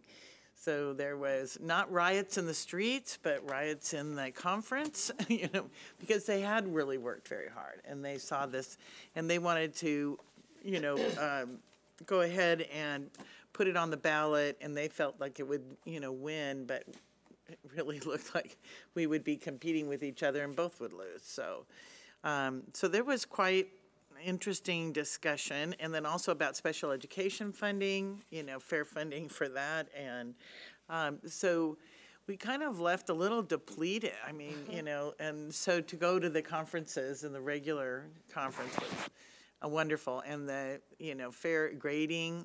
Um, Mrs. Fluor had turned me on to the book uh, beforehand, so it was really refreshing to have had the opportunity to learn about the author, and um, she shared it with um, uh, Mr. Uh, Lee-Sung about it, who's now shared it with staff. But to actually hear him speak was really, um, it, there were so many aha moments that I, I stopped trying to write down notes and started videoing because it was, you know, things that we've all talked about in this room at some point in their careers or tenure because it is really exciting. So, and then also teary eyed about the, um, you know, for me, listening to the passion for some of our executives at CSBA that had actually gone through the fire. And, um, and, and just things that you would never think of, like not, you know, supporting the children, but being careful not to drive through the neighborhood when you're supporting those students to school you know, looking at other paths because you don't want to remind them of their school day of, you know, just little, you know, little things that we would never think of until you have to, until kids, you know, have an emotional. Um, but there was a lot of that. So, but there was also a lot of positive, and I got to meet with a lot of Orange County school board members, and we all got to share what's going on. So I appreciate the opportunity to be able to go. So. And that's it. And look forward to music, music, music. Um, Ms. Barto already talked about the student engagement forum that was put on by Placer uh, School District, and Mrs. Fluor and I also attended, and we, I think, are really excited to try to develop that in our district. Um, And what they do is, they have a, a process, and there were four student board members who actually presented at this. And they have a process where they apply online. So they do a video application, and board members select these trustees. And then um, they have a, an, an individual um, interview with the school board members afterward, and then they create their own training program. And it, it- they do it in the summer before they come on board, so they're on board starting in September for the year.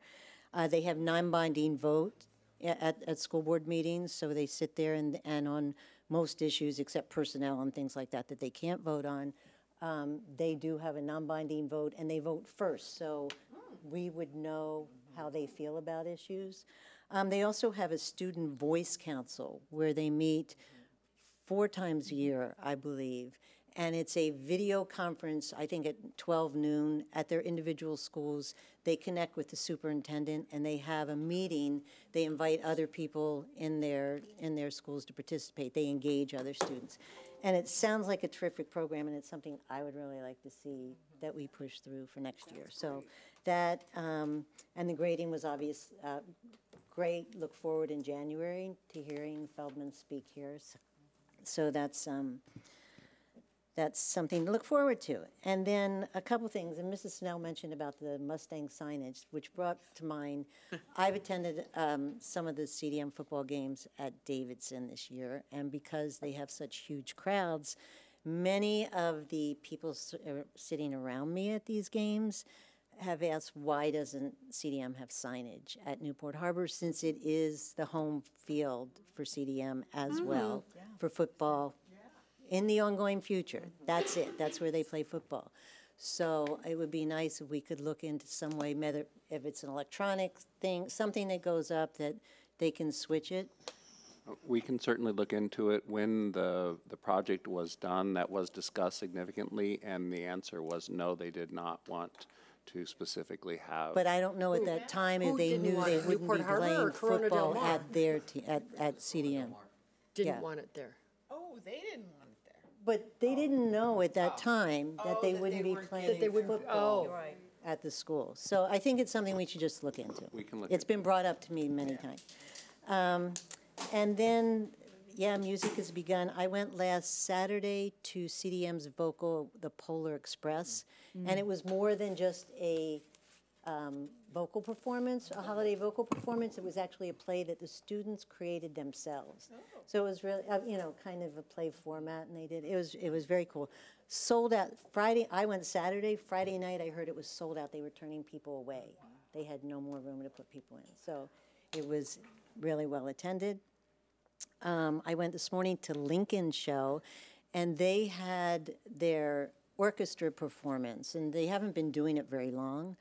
But parents sitting like right next to me were so blown away by how, how well these kids are performing, who some of them have only been doing it for three months.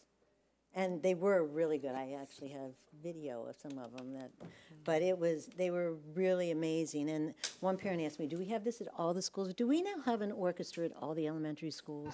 It's diff- But I know different, we're for- getting. different formats. But We- we're getting closer because. Well, we have band at some, and we have orchestra at others. Okay, They but don't, some- yeah. they, they, I don't know that anybody doesn't have something. like, that. but I, I, I mean, and that's, I said that's something we're Whittier has really proud strings. of in the district, that we've been able to do that, because Adams has the, strings, uh, yeah. the high school music teachers are salivating, getting these kids who have had some experience in elementary school. Um, And Val did a and- great job at the football game doing Oh, yeah, that. every, I- I mean, yeah. I mean, it was You just. listen to it all the I, time. well, I, we walk across the street, Yeah. but So, Good to see um, you. and there's more music performances to come this week, so that's great. That's it. Terrific. Um, It's interesting to note that both, um, the two that I just take away and just were blown away are from the same district, Placer Union High School District, which is up in the Yolo County. Um, But to that end, uh, I think that the important thing about the student board member is that it took it away from a popularity contest. Um, These were not your normal ASB leaders. These were um, individuals that are, they apply as either a sophomore or a junior. Um, And then they fulfill their role as a as a senior. So, and they're trained in Brown Act, they're trained in uh, Robert's Rules, they're trained in, and then they alternate at the board meeting. But they really are providing a student um, voice. Um, And so to that end, I would like to, um, one of my first acts is I would like to appoint a task force to see whether we can, um, I know Mrs. Snell has been interested in doing this, she's been talking about it, um, we've all been talking about it, so I'd like to have, um, Mrs. Snell, Mrs. Yelsey, and Mrs. Barto, um, those three, um, start looking at the possibility of, of putting that together and see, since we've always talked about, but their, their process starts in January, February, so that they're appointed, so they have the summer, um, before they start. So it would be wonderful if we could do something um, like that. Um, Couple of other things is, um, Ashley, you'd be um, interested to know that CSBA is established some new training modules. They've just rolled them out. It's a three hundred dollar subscription, but they're, they're, um, they talked about them in um, delegate assembly, and so they're gonna be rolling out um, actual training modules that are video.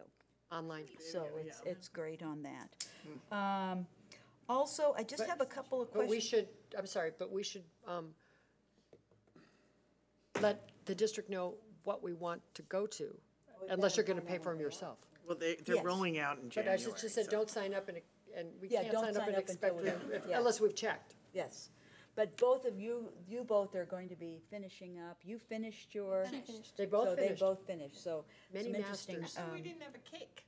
We didn't, we should get a cake, because now we're all trained. Um, And then, I Good, would more just cake. like in the future, a couple of things, I've gotten a couple of calls about, um, and I know that uh, Dr. D'Agostino received a call about, from a law firm in regards to suing Juul and the vaping um, situation, and so,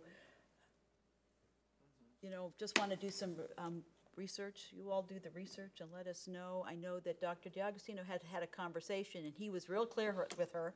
I don't do anything unless the board does anything.